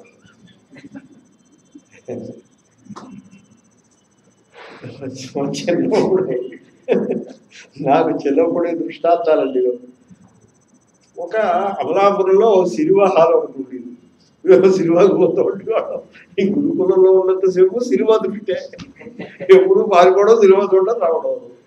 ఆ సినిమా టాకీస్ పేరు కమలేశ్వరి అని గుర్తు నాకు బహుశా అదే కమలేశ్వరి. నేను ఒకసారి అడిగాను ఎవరన్నా ఏమంటే ఈ పేరు కొంచెం విలక్షణంగా ఉంది. వెంకటేశ్వర టాకీస్ ఆ శ్రీనివాస టాకీస్ అని ఇలాంటి జనరల్ నేమ్స్. ఏమిటిది? కమలేశ్వరి అని కొత్త పేరు ఏమిటి? ఇలా ఉంది ఏమిటి అని అడిగాను. అది చూడండి ఆ- రకమైన తెలుసుకోవాలనే కుతూహలం ఉంటుంది అప్పట్లో. అడిగితే ఒక పెద్ద ఆయన చెప్పారు నాకు దాని రహస్యాన్ని విప్పి చెప్పారు. ఈ కమలేశ్వరి రాజేశ్వరిని కట్టించిన ఆయనకి ప్రియురాలి పేరు కమల. ఆవిడ పేరు కమల. అందుకోసం దానికి కమలేశ్వరి అని పెట్టుకున్నారు ఆయన. ప్రియురాలి పేరు పోవాలాగా అప్పుడు ఇంకోసారి సినిమాకు వెళ్ళినప్పుడు నేను చెప్పాను మా మిత్రులకు ఎవరా ఇది దీన్ని కమలేశ్వరుని ఎందుకు అంటారో మీకు తెలుసా? అంటే వాళ్ళు తెలియదు ఎందుకో చెప్పు. అది సంగతి. కాబట్టి ఇంటికో పేరు ఉంటుంది నామ ఆకృతి దానికి ఆకారం ఉంటుంది. ఏదో రెండు ఫ్రంట్ బెడ్రూము వాస్తు బోల్డ్ అంత గడబడి చేస్తారు. ఈ వాస్తు వాడు ఉన్నాడు చూసారు ఏదో ఆకారం ఆత్మ చైతన్యం గురించి ఉంది తప్ప ఇన్ ఇట్ సెల్ఫ్ దానికి ఏం విలువ లేదురా బాబు అని ఎవరికి చెప్తారు మీరు? ఎవడైనా వినివాడికి చెప్పాలి కానీ మూర్ఖుడికి మూర్ఖుని మనము రంజింపరాదు. సో వెదికి కుందేటి కొమ్ము పట్టవచ్చు. దవిలి మూర్ఖుని మనము రంజింపరా ఇసుకలోంచి నూనెనా తీయచ్చేమో కానీ మూర్ఖుని మనస్సును మీరు మెప్పించలేరు.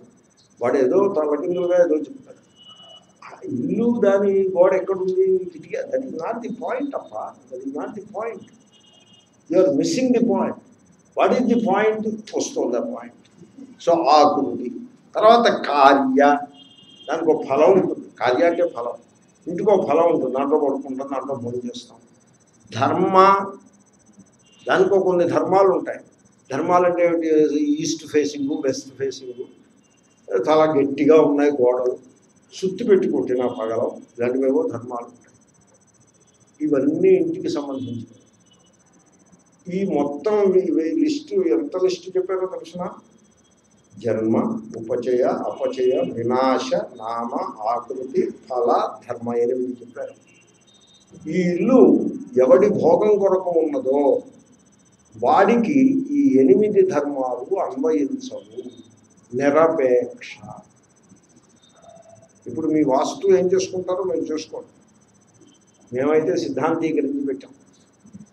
ఈ ఎనిమిది కూడా వాడికి అన్వయించవు.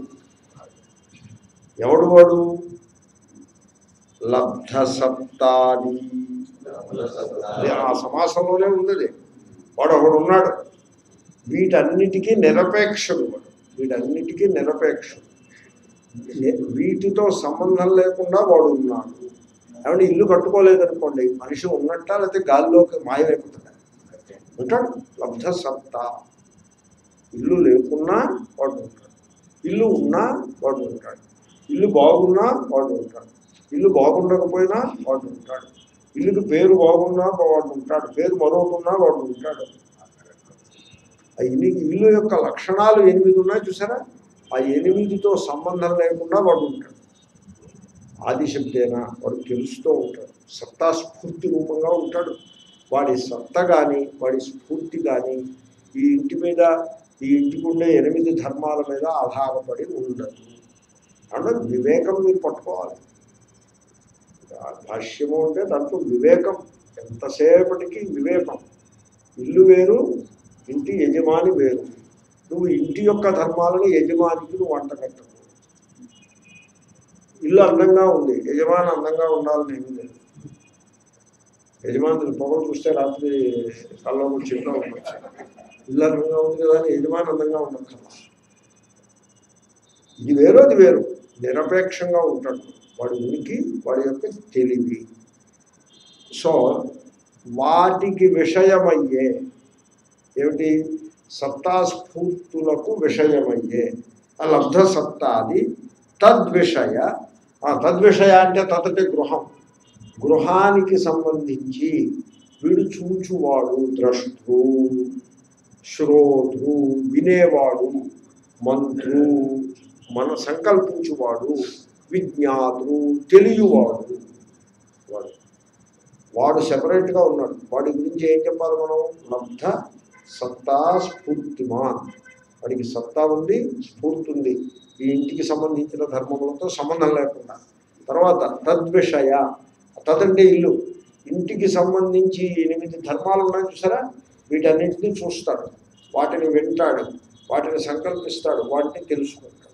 వాడు వేరు. ఈ ఇల్లు వేరు వీడు వేరు. ఈ ఇల్లు వీడి కోసం ఉందా? వీడు ఇల్లు కోసం ఉన్నాడా? ఇల్లు వీడి కోసం నేను చాలాసార్లు పాయింట్అవుట్ చేశాను పాయింట్అవుట్ చేయడమే కాదు try to bring it into life. అదేమిటంటే ఇప్పుడు మీరు చూడండి ఇన్స్టిట్యూషన్ ఒకటి నిలబెడతారు. దేనికోసం నిలబెడతారు?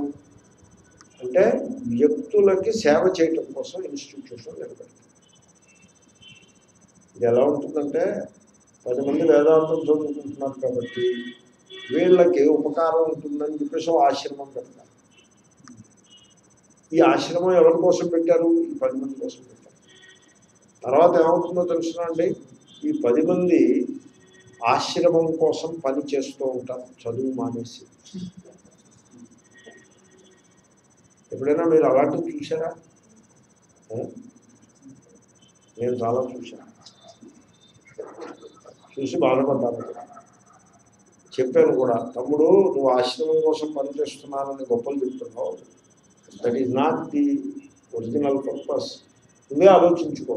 ఆశ్రమం పెట్టినప్పటి నుంచే ఉన్నానన్నాడు. పెట్టినప్పటి నుంచే ఉన్నావు కదా. ఆశ్రమం ఎవరి కోసం పెట్టారు?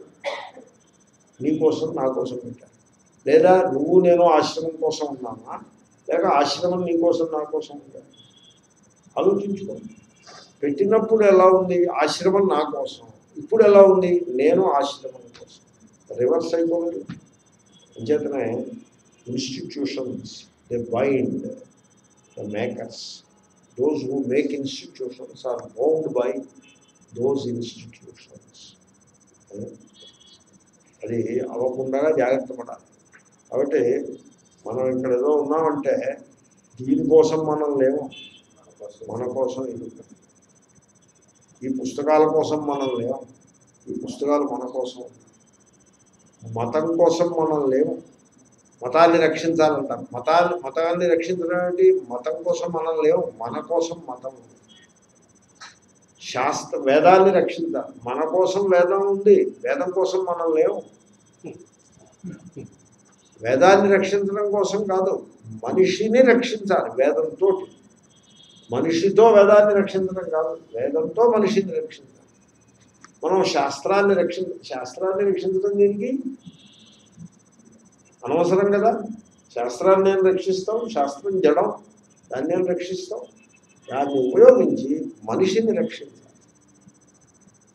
Human being is the focus not the institution ఆరంభంలో హ్యూమన్ ఫోకస్ ఉంటుంది.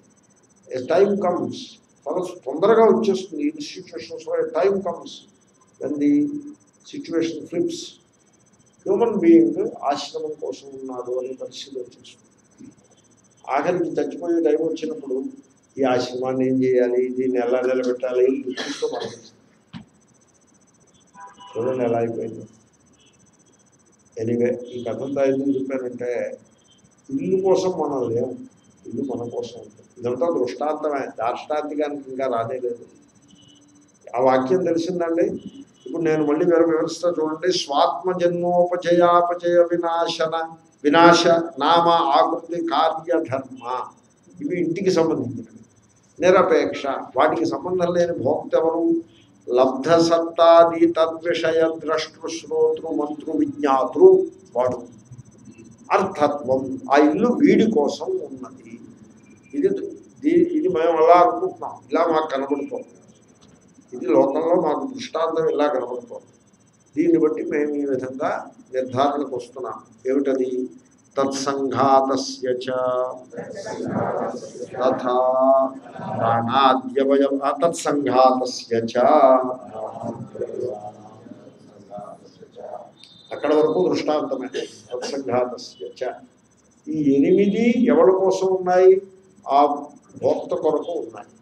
ఏ ఎనిమిదింటి యొక్క సముదాయం సమూహము అదెవరి కోసం ఉన్నది? ఆ భోక్త కొరకే ఉంది. ఈ ఎనిమిదిలో మీరు విడివిడిగా చూడండి. అవి ఎవరి కోసం ఉన్నాయి? ఆ భోక్త కొరకు ఉన్నాయి. గృహ యజమాని కొరకు ఈ ఎనిమిదింటి యొక్క సంఘాతం ఉన్నది. అది ఎవరి కొనుక్కున్నది? అది కూడా భోక్త కొరకే ఉంది తత్సంఘాతస్య చ విజ్ఞాతరర్థత్వం దృష్ట్వా మన్యామహే ఇది వెనక్కి వెళ్తుంది తత్సంఘాతస్య అనే మాట. ఓకే? ఇది దృష్టాంతం. ఇప్పుడు దాష్టాంతికానికి రండి. తథా. తథా అంటే అదే విధముగా? ఇక్కడి నుంచి దాష్టాంతికం ప్రారంభం. ప్రాణాద్యవయవానాం. తత్సంఘాతస్య ఇప్పుడు ఇది చూసుకోండి.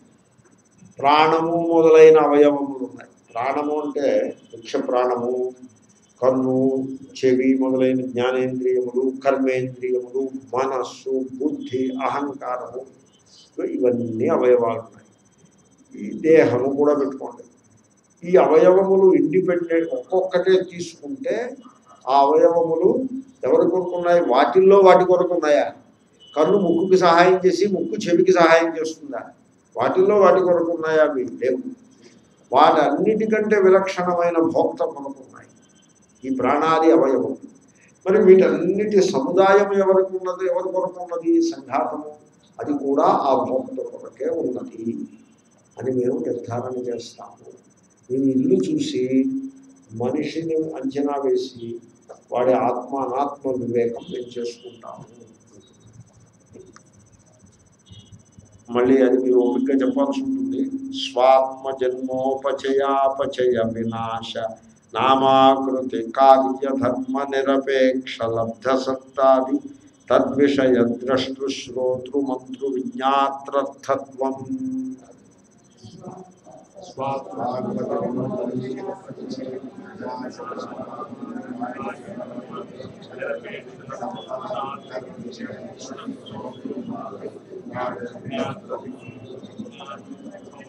భవితుమర్హతి మీరు అంతా చెప్పేప్పటికి నేను కొంత ఓటుగా కొంత గాలి సరిగ్గా అదే విధంగా ఈ సంఘాతం ఉన్నది ఈ సంఘాతములకు ఒక పుట్టుక అది పెరిగింది. సంఘాతం ఉపచయ. ఇప్పుడు డిక్లైన్ అవుతోంది తగ్గుతోంది. అప్పుడే తన డిక్లైన్లో పడింది.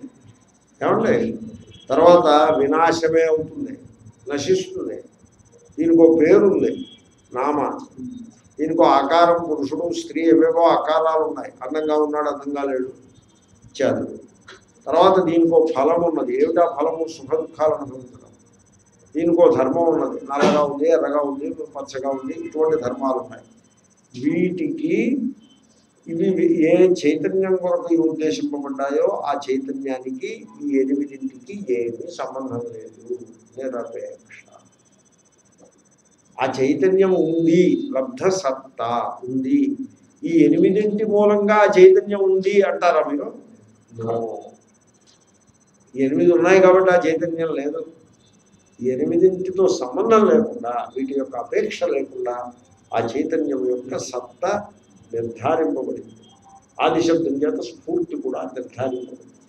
ఆ చైతన్యం ఎట్టిదో తెలిసిన?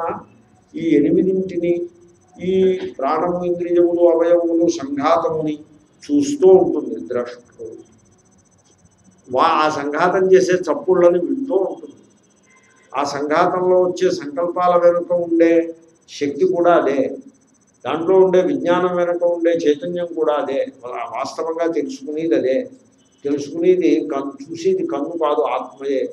పశ్యంశ్చక్షు తెలుసుకుని వినేది చెవి కాదు ఆత్మయే. శృణ్వం శ్రోత్రం. ఆలోచించేది సంకల్పించేది మనస్సు కాదు ఆత్మయే. మన్వానో మనః ఆ ఆత్మ చైతన్యమే ద్రష్టన్నాదే శ్రోతన్నాదే మంతన్నాదే విజ్ఞాతన్నాదే నాణ్యోతోస్తి ద్రష్ట అద్రష్ ద్రష్ట అదృష్టం శ్రోత అశ్రుతం మంత అమతం అని అలాగా మంత కాదు మంత్రు మంత్రు అమతం నమోసకలింగం కదా ద్రష్టృ అదృష్టం శ్రోతృ అశ్రుతం అన్న మంత్రం.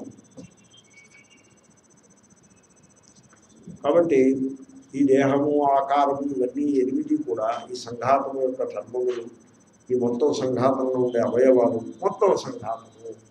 అదిగో ఆ శుద్ధ చైతన్యము కొరకు మాత్రమే ఉద్దేశింపబడినవి అలా అర్థం చేసుకుంటే మంచి సరి అయిన పద్ధతి అని మేము నిర్ధారించుకున్నాము. కాబట్టి ప్రాణము భోక్త కాదు. ప్రాణంతో సహా వీటన్నిటికంటే విలక్షణమైన ఆత్మ చైతన్యమే భోక్త. ఆ తెలివి. ఎప్పుడు కూడా తెలివి మీద పెట్టాలి ఫోకస్. తెలివి మీద ఉండాలి. ఇప్పుడు నేను మిమ్మల్ని అడుగుతా. Are you the doing or are you the knowing మీరు సెటిల్ చేసుకోవాలి. ఐ ది డూయింగ్ అన్నారు అనుకోండి. అంటే పెద్ద వయసు వచ్చిన తర్వాత దుఃఖం I am not the doing I the knowing doing సంఘాతంలో భాగం. నేను నోయింగ్ అని ఆ చైతన్యం మీద ఉండాలి ధ్యాస చైతన్య అవేర్నెస్ మీద ఉండాలి ధ్యాస డూయింగ్ మీద ఉండకూడదు డూయింగ్ ఉంటుంది అది నడిచింది నడుస్తాం సాక్షి చైతన్యం మీదనే మనం ఫోకస్ పెట్టుకోవాలి దేవతా చేతనావత్వే సమత్వాత్ గుణభావానుపగమ ఇది చేత్ ఇది మళ్ళీ పూర్వపక్షం ఇప్పుడు మనం ఏం చేసాం ప్రాణమును ఈ సంఘాతంలో కలిపేసాం ఆ సంఘాతంలో ఒకటైపోయింది స్తంభాన్ని ఇంట్లో కలిపేసాం ఈ ఆత్మ చైతన్యం ఉత్కృష్టమైనది అని సెపరేట్ పెట్టాం. ఈ ప్రాణము ఈ చైతన్యము కొరకు పనిచేస్తోంది అని దీన్ని it is meant for the Chaitanya అని చెప్పాం. దీన్ని ఏమంటారంటే ఆ చైతన్యం ప్రధానము ప్రాణము అప్రధానము అయిపోయింది. ఏమంటే స్తంభాలు పిల్లర్స్ ముఖ్యమా గృహ యజమాని ముఖ్యమా? గృహ యజమాని ముఖ్యం పిల్లర్స్ ముఖ్యం కాదు. కదా? అని అలా అనుకోరు ఎలా అనుకుంటామంటే పిల్లర్సే ముఖ్యం? ప్రాణం పోయినా సరే నా పిల్లర్స్ పోకుండా మనుషులు అలా ఉంటారు. ఇప్పుడు మెడలో నెక్లెస్ అంటే వజ్రాల హారమో ఉందనుకోండి. వాడెవడో లాగేసుకున్నాడు అనుకోండి దాన్ని పట్టుకుని ప్రాణం పోయినా పర్లేదు అది పోవడానికి వీల్లేదని ట్రై చేస్తాను అనుకుంటున్నాను అంటే ఫోకస్ ఎక్కడ ఉన్నది అన్నది కాబట్టి సో మొత్తానికి సరైన ఫోకస్ ఉన్న సందర్భంలో పిల్లర్స్ సెకండరీ యజమాని ప్రైమరీ. సెకండరీ అంటే గుణభావం. పిల్లర్స్ గుణము గుణము అంటే సెకండరీ గుణభావం అంటే గౌణము అంటే సెకండరీ. అలాగే ఆత్మ చైతన్యం ముఖ్యం. ప్రాణము గుణభావాన్ని పొందుతుంది. మనం చెప్పిన సిద్ధాంతం అలా ఉంది కదా. పూర్వపక్షం ఏమంటాడంటే ప్రాణశక్తిని ఆ రకంగా గుణభావము చేయుట తగ తగదు సో గుణభావ అనుపగమ అలా గుణభావాన్ని చేసి పెట్టేవే అది అర్థం చేసుకోవడం చాలా కష్టంగా ఉంది. ఎందుకో తెలుసునండి? ప్రాణము దేవత. ప్రాణదేవత. హిరణ్య గర్భుడు అంటే ప్రాణమే. ప్రాణము దేవత. దేవతకి చైతన్యం ఉంటుంది. దేవత కూడా చేతనాంశం ఉంటుంది. చేతనామత్వం చేతనాన్ని కలిగి ఉంటుంది. అటువంటి ప్రాణదేవతని పట్టుకుని ఆ ఆత్మ చైతన్యమునకు ఇది సెకండరీ. అలా చేయటం బాగులేదు కదా అని బాగుంటుంది చూసారా దేవతా చేతనావత్వం అంటే ప్రాణదేవతాయా చేతనత్వే ప్రాణదేవత చేతనము. చేతనమైన దేవతని ఇంకో చేతనానికి గుణం ఎలా చేస్తాం? ప్రాణదేవత చేతనము కావున చైతన్యాత్మతో సమానమైన స్థాయి గలదు. కావున ప్రాణము గుణము అప్రధానము ఆత్మ ప్రధానము అనుట అగుట పోసగలదు. అని ఇది పూర్వపక్షం. దాన్ని వివరిస్తున్నారు ఇంకా. అది సంగ్రహవాక్యం పూర్వపక్ష సంగ్రహవాక్యం. ఇప్పుడు పూర్వపక్ష వివరణ. ప్రాణస్య విశిష్టైర్నామభి ఆమంత్రణ దర్శనాత్ చేతనావత్వం అభ్యుపగతం. కాబట్టి ప్రాణాన్ని ఒక విలక్షణమైన పేర్లతో పిలిచారు గృహం. ఓ పూజనీయ పాండవ వాస అప్పులను అప్పులు అంటే జలములు. అప్పులను వస్త్రముగా కలిగి ఉన్న ఓ ప్రాణమా? సోమరాజన్ సోమ లతల వలె ప్రకాశించుదామా?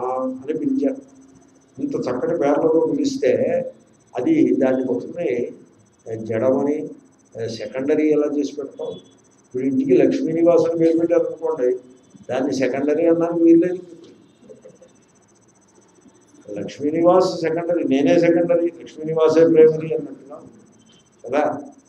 ఇప్పుడు కుక్కని నడిపిస్తూ ఉంటాడు. ఎవరు? ప్రైమరీ ఎవరు? సెకండరీ ఎవరు? కుక్క ముందు వెళ్తూ ఉంటుంది వీడు వెనకాల పోతూ ఉంటాడు. కుక్క లెఫ్ట్ తిరిగితే వీడు లెఫ్ట్ తిరుగుతాడు. కుక్క రైట్ తిరిగితే వీడు రైట్ తిరుగుతాడు. ఇప్పుడు ప్రైమరీ ఎవరు? సెకండరీ ఎవరు? చెప్పండి. పూ- పూజ్య స్వామీజీ దృష్టాంతం పూజ్య స్వామీజీ ఇంకా వాడు చెప్తారు ఇప్పుడు కుక్క తాడు మెడకి తాడు కట్టి వీడు పట్టుకున్నాడు అంటారు కదా నాకు అలా కనపడలేదు నాకు ఎలా కనపడిందంటే వీడి చేతికి కట్టిన ఉన్న తాడుని కుక్క మెడలో పెట్టుకు లాక్కుపోతుంది. ఏ కుక్కకి చేతులు ఉండవు కనుక మెడలో వేసుకు లాక్కుంటుంది నాకు అలా కనపడింది.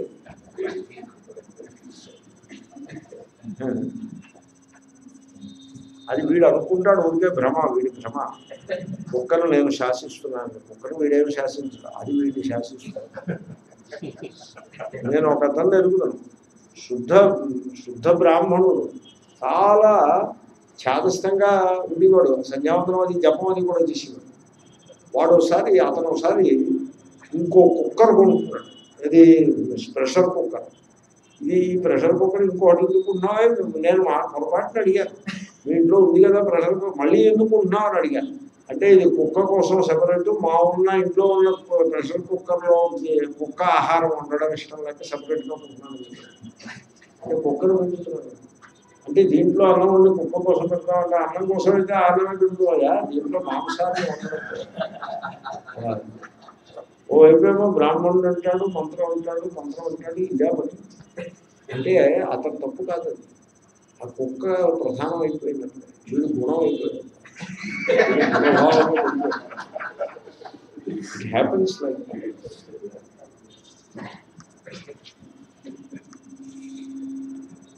చేతనావత్వే చ పారాక్షోపగమ సమత్వాదముపన్న ఇది చేత్ ఆ. ఇప్పుడు ప్రాణము దేవతయుండి చేతన గలదైనప్పుడు సమమవుతుంది ఆత్మ చైతన్యము ఏ స్థాయో ప్రాణదేవత కూడా అదే స్థాయి. సమమైనప్పుడు ఒకటి ఇంకొక దాని కొరకు ఉంటుంది. సమములు రెండు ఇండిపెండెంట్గానే ఉంటాయి. ఒకటి ఇంకొక దాని కొరకు ఉండదు. సమం.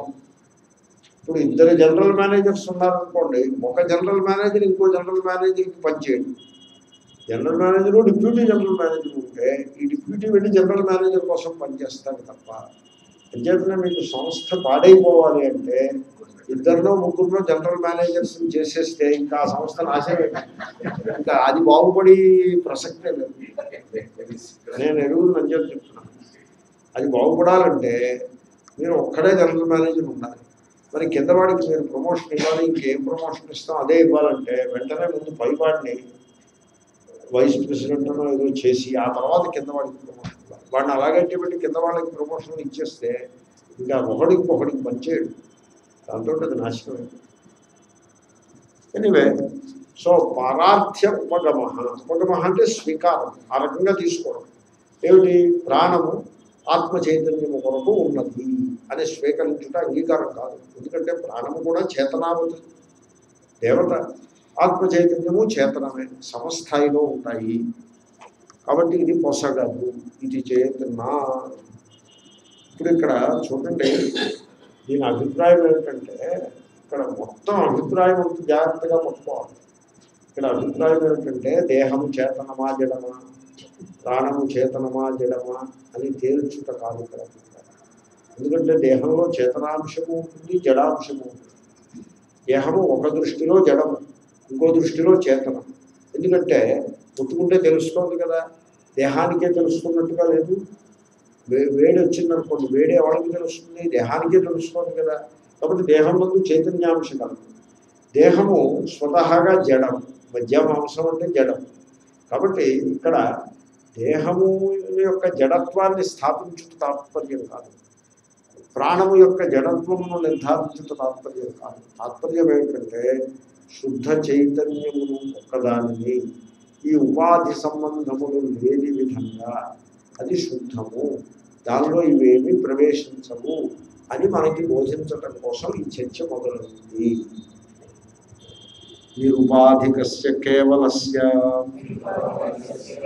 విజిజ్ఞాపయిషితత్వాద్ ఇది దిస్ ఈస్ ది సంగ్రహవాక్యం. దీనికి వివరణ వస్తుంది. సో ఇక్కడ నిరుపాధికస్య కేవలస్య అంటే ఆత్మన అర్థం. ఇప్పుడు చూడండి ఇక్కడ ఆత్మ ఉంది ఆత్మకి ప్రాణం సర్వెంటు దేహం సర్వెంటు ఇంద్రియాలు servant. That is not the point okay అలా చెప్తాం తప్ప పాయింట్ ఏమిటంటే ఆత్మ కేవలము అద్వితీయము. ఏమండి? ప్రాణం అనేది ఆత్మకి ఉపాధి. కాబట్టి ప్రాణధర్మాలు ఆత్మయంలో ఉంటాయి. నో. ప్రాణధర్మాలు ఆకలి దప్పికలు ఆత్మయంలో ఉండవు. ఆత్మ నిరుపాధికము. దేహధర్మములు జన్మ మరణములు ఆత్మయందు ఆత్మ నిరుపాధికము ఉపాధిని అజ్ఞానం చేత వస్తుంది తప్ప అజ్ఞానం చేత వచ్చేదాన్నే ఉపాధి అంటారు. ఎడ్జెంట్ మనం చాలాసార్లు చూసాం ఉపాధి. కాబట్టి దేహము ఉపాధి అని చెప్పుకునేందుకు తాత్పర్యం ఏంటంటే దేహధర్మములైన జన్మ మృత్యువులు ఆత్మయందు లేదు. దేహము ఆత్మకు అలా అతుక్కుని ఉండదు. ఓ మూల దేహం కూడా ఓ తోక అలా ఉండదు.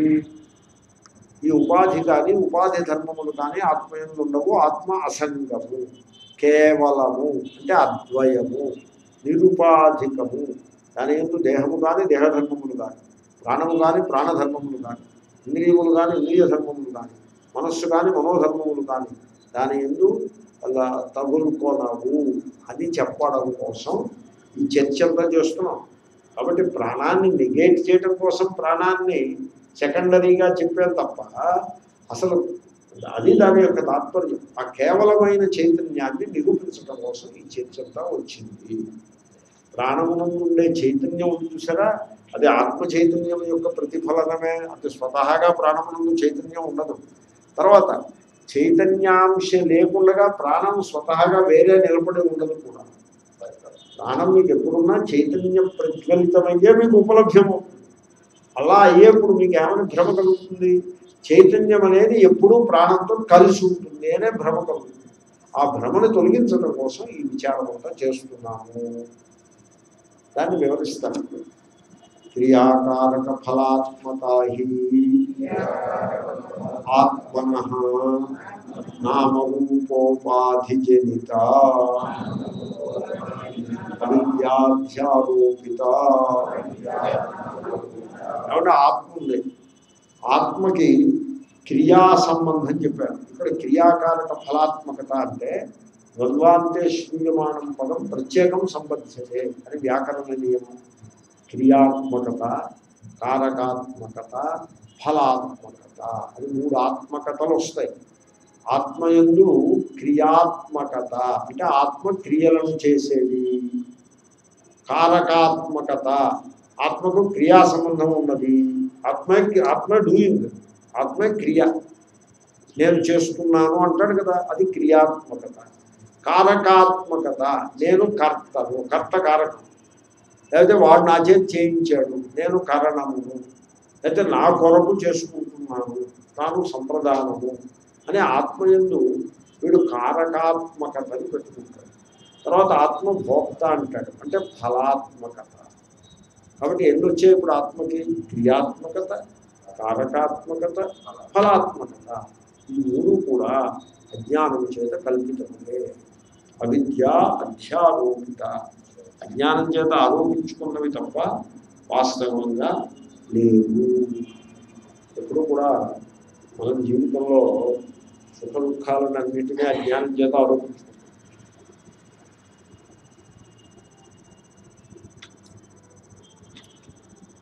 మనం ఏమనుకుంటామంటే వాళ్ళు మన గురించి ఏదో చెప్పుకుంటున్నారు. వాళ్ళు ఏదో మాట్లాడుకుంటూ ఉంటారు ముసుముసులు ఆడుకుంటూ ఉంటారు. ముసుముసులు ఆడుకుంటూ ఉంటే నా పిల్లలు చూసే వీళ్ళు ముసుముసులు ఆడుకుంటున్నారు. లేకపోతే నా చేతి చొక్కా చూసి వీళ్ళు ముసుముసులు ఆడుకుంటున్నారు. లేకపోతే నా పంచకట్టు బాగులేదని వీళ్ళు అని అనుకుంటారు. అలా అనుకుని దుఃఖపడతారు. వాళ్ళు వీడి గురించి అసలు ఆ వీడి కేసు చూడ కూడా చూడరు. వాళ్ళ హడావిలో వాళ్ళు ఉంటారు.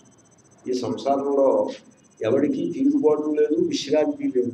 ఎవరికీ లేదు అందరూ సంసారం అనే ప్రవాహంలో కొట్టుకుపోతూ ఉంటారు ఇంట్లో ఒకడు ఇంకొకటి చూసి అనుకునేది లేదు పెట్టేది లేదు. ఎవరికి వారే యమునా తీరే.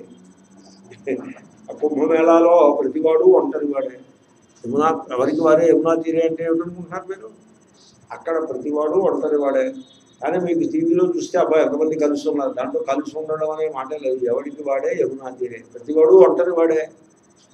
ఏమండి ఈ సంసారం అలాంటిది కానీ మనము అజ్ఞానం చేత అలా ఆరోపించుకుని దుఃఖిస్తాం. దీన్ని అవిద్య అధ్యారోపిత అంటే అధ్యారోపణ ఎలా ఉంటుందో మీకు చెప్పాను. అలాగే క్రియాత్మక doing is different from knowing కానీ డూయింగ్ని నోయింగ్ మీద వీడు అధ్యారోపణ చేసుకుంటాడు. ఆత్మకర్త అంటాడు. కారకాన్ని అధ్యారోపణ చేస్తాడు. ఆత్మభోక్త అంటాడు. ఫలాన్ని అధ్యారోపణ చేస్తాడు. ఇదంతా కూడా ఈ క్రియా క్రియా సంబంధము కారకత్వము ఫల సంబంధము అనేవి నామరూప ఉపాధి నుంచి పుట్టాయి ఈ నామరూపాలనే ఉపాధి. దేహము అంటే నామరూప దేహము అన్నది కూడా నామమే. ఓ రూపానికి దేహము అంటారు అది దేహము కాదు ఏమీ కాదు. అది పంచభూతముల యొక్క బుద్ధ గోడ అన్నారు. గోడ అన్నది నామం. ఒక రూపానికి పెట్టిన నామం. అది యథార్థం కాదు. మరి యథార్థం ఏమిటి? మట్టి ముద్దలు అది యథార్థం మీరు ఎప్పుడైనా మట్టి గోడ చూసారా చూసారు మట్టి గోడకి కిటికీలో అవే ఉండవు. కిటికీలు పెడితే ఈ మట్టి ముద్దలు విడిపోతాయి. ఆ కిటికీలన్నీ కూడా ప్రారంభిస్తే గోడ గోడ అంతా కింద పడుతుంది. కిటికీలో అవే ఉండవు. తర్వాత గూళ్ళు కూడా ఉండవు. ఎందుకంటే గూళ్ళే ఉండవు. ఇంకే చిన్న చిల్లులా పెడతారు అంతే. అది కూడా ఇంక తప్పనిసరి అయితే. ఎందుకంటే గోడకి వీక్నెస్ వచ్చేస్తుంది. అలా పెట్టుకుంటూ పోతారు. లోపల చీకటిగా ఉంటుంది. ఆ చీకటిలో దీపం పెట్టుకుని కాలక్షేపం చేసుకుంటారు that is how they used to live కాబట్టి గోడ అనేది ఏముండదు అక్కడ. గోడ ఏమిటంటే గోడ అంటే ఏమిటి? ఒక నామం ఒక రూపం తప్ప స- వస్తువు ఏముంది అక్కడ. తత్వం ఏం లేదు. తత్వం ఏమిటో తెలిసిన మట్టి ముద్దలు అలాగే దేహం అనేది ఏం లేదు. నామరూపాలు ఇవి. దేహం అంటే ఏమిటి? ఇగో ఇది పృథివీ ఇది ఆపహ అగ్ని వాయువు ఆకాశ. అంటే ఇంట్లో దేహం అనేది ఎక్కడుంది ఏమీ లేదు. నామరూపాలు అయితే మీరు ఒక పేరు పెట్టి ఒక రూపం పట్టుకున్నారంటే అదేదో వస్తువు కింద భాషిస్తుంది. వస్తువు కింద భాషించి అది ఉపాధి అయిపోతుంది. దాని ధర్మాలు ఆత్మకాంట కడతారు. ముందు ఉపాధిని క్రియేట్ చేస్తారు. దాని ధర్మాలని ఆత్మకాంట కడతారు. క్రిస్టల్ ఉంటుంది. పక్కన ఎర్రటి పువ్వు పెడతాడు. అది ఎర్రగా ఉంది కాబట్టి ఇది కెంపు అంటాడు. అది కెంపు ఏం కాదని అది అది స్ఫటికం. కెంపు కాదు. దాన్ని కెంపులాగా కనబడి ఇట్లా చేసేది వీడే. కెంపు అని భ్రమపడింది వీడే. కెంపేమీ కాదు అది.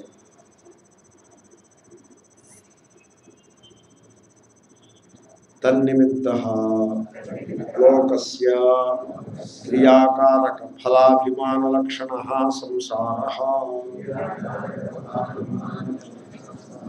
సంసారానికి డెఫినేషన్ సంసార ఇది సంసారం అంటే. ఏమిటి? క్రియాకారక ఫల అభిమాన లక్షణ. ద్వంద్వాంతే శ్రూయమానం పదం ప్రత్యేకం సంబంధించింది క్రియాభిమానము కారకాభిమానము ఫలాభిమానం క్రియాభిమానం అంటే ఏమిటి? నేను ఇంత పని చేస్తున్నాను. అది క్రియాభిమానం. కారకాభిమానం ఏమిటి? కర్తను నేనే. నేను ఎప్పుడు పనులు చేస్తూనే ఉంటాను. అది క్రియాభిమానం. కర్తను నేనే కారకాభిమానం. భోక్తను నేనే ఫలాభిమానం. ఇదే సంసారం. ఎందుకంటే వేరే సంసారం. మీరు క్రియలు మనం చెయ్యం క్రియలు అవుతూ ఉంటాయి.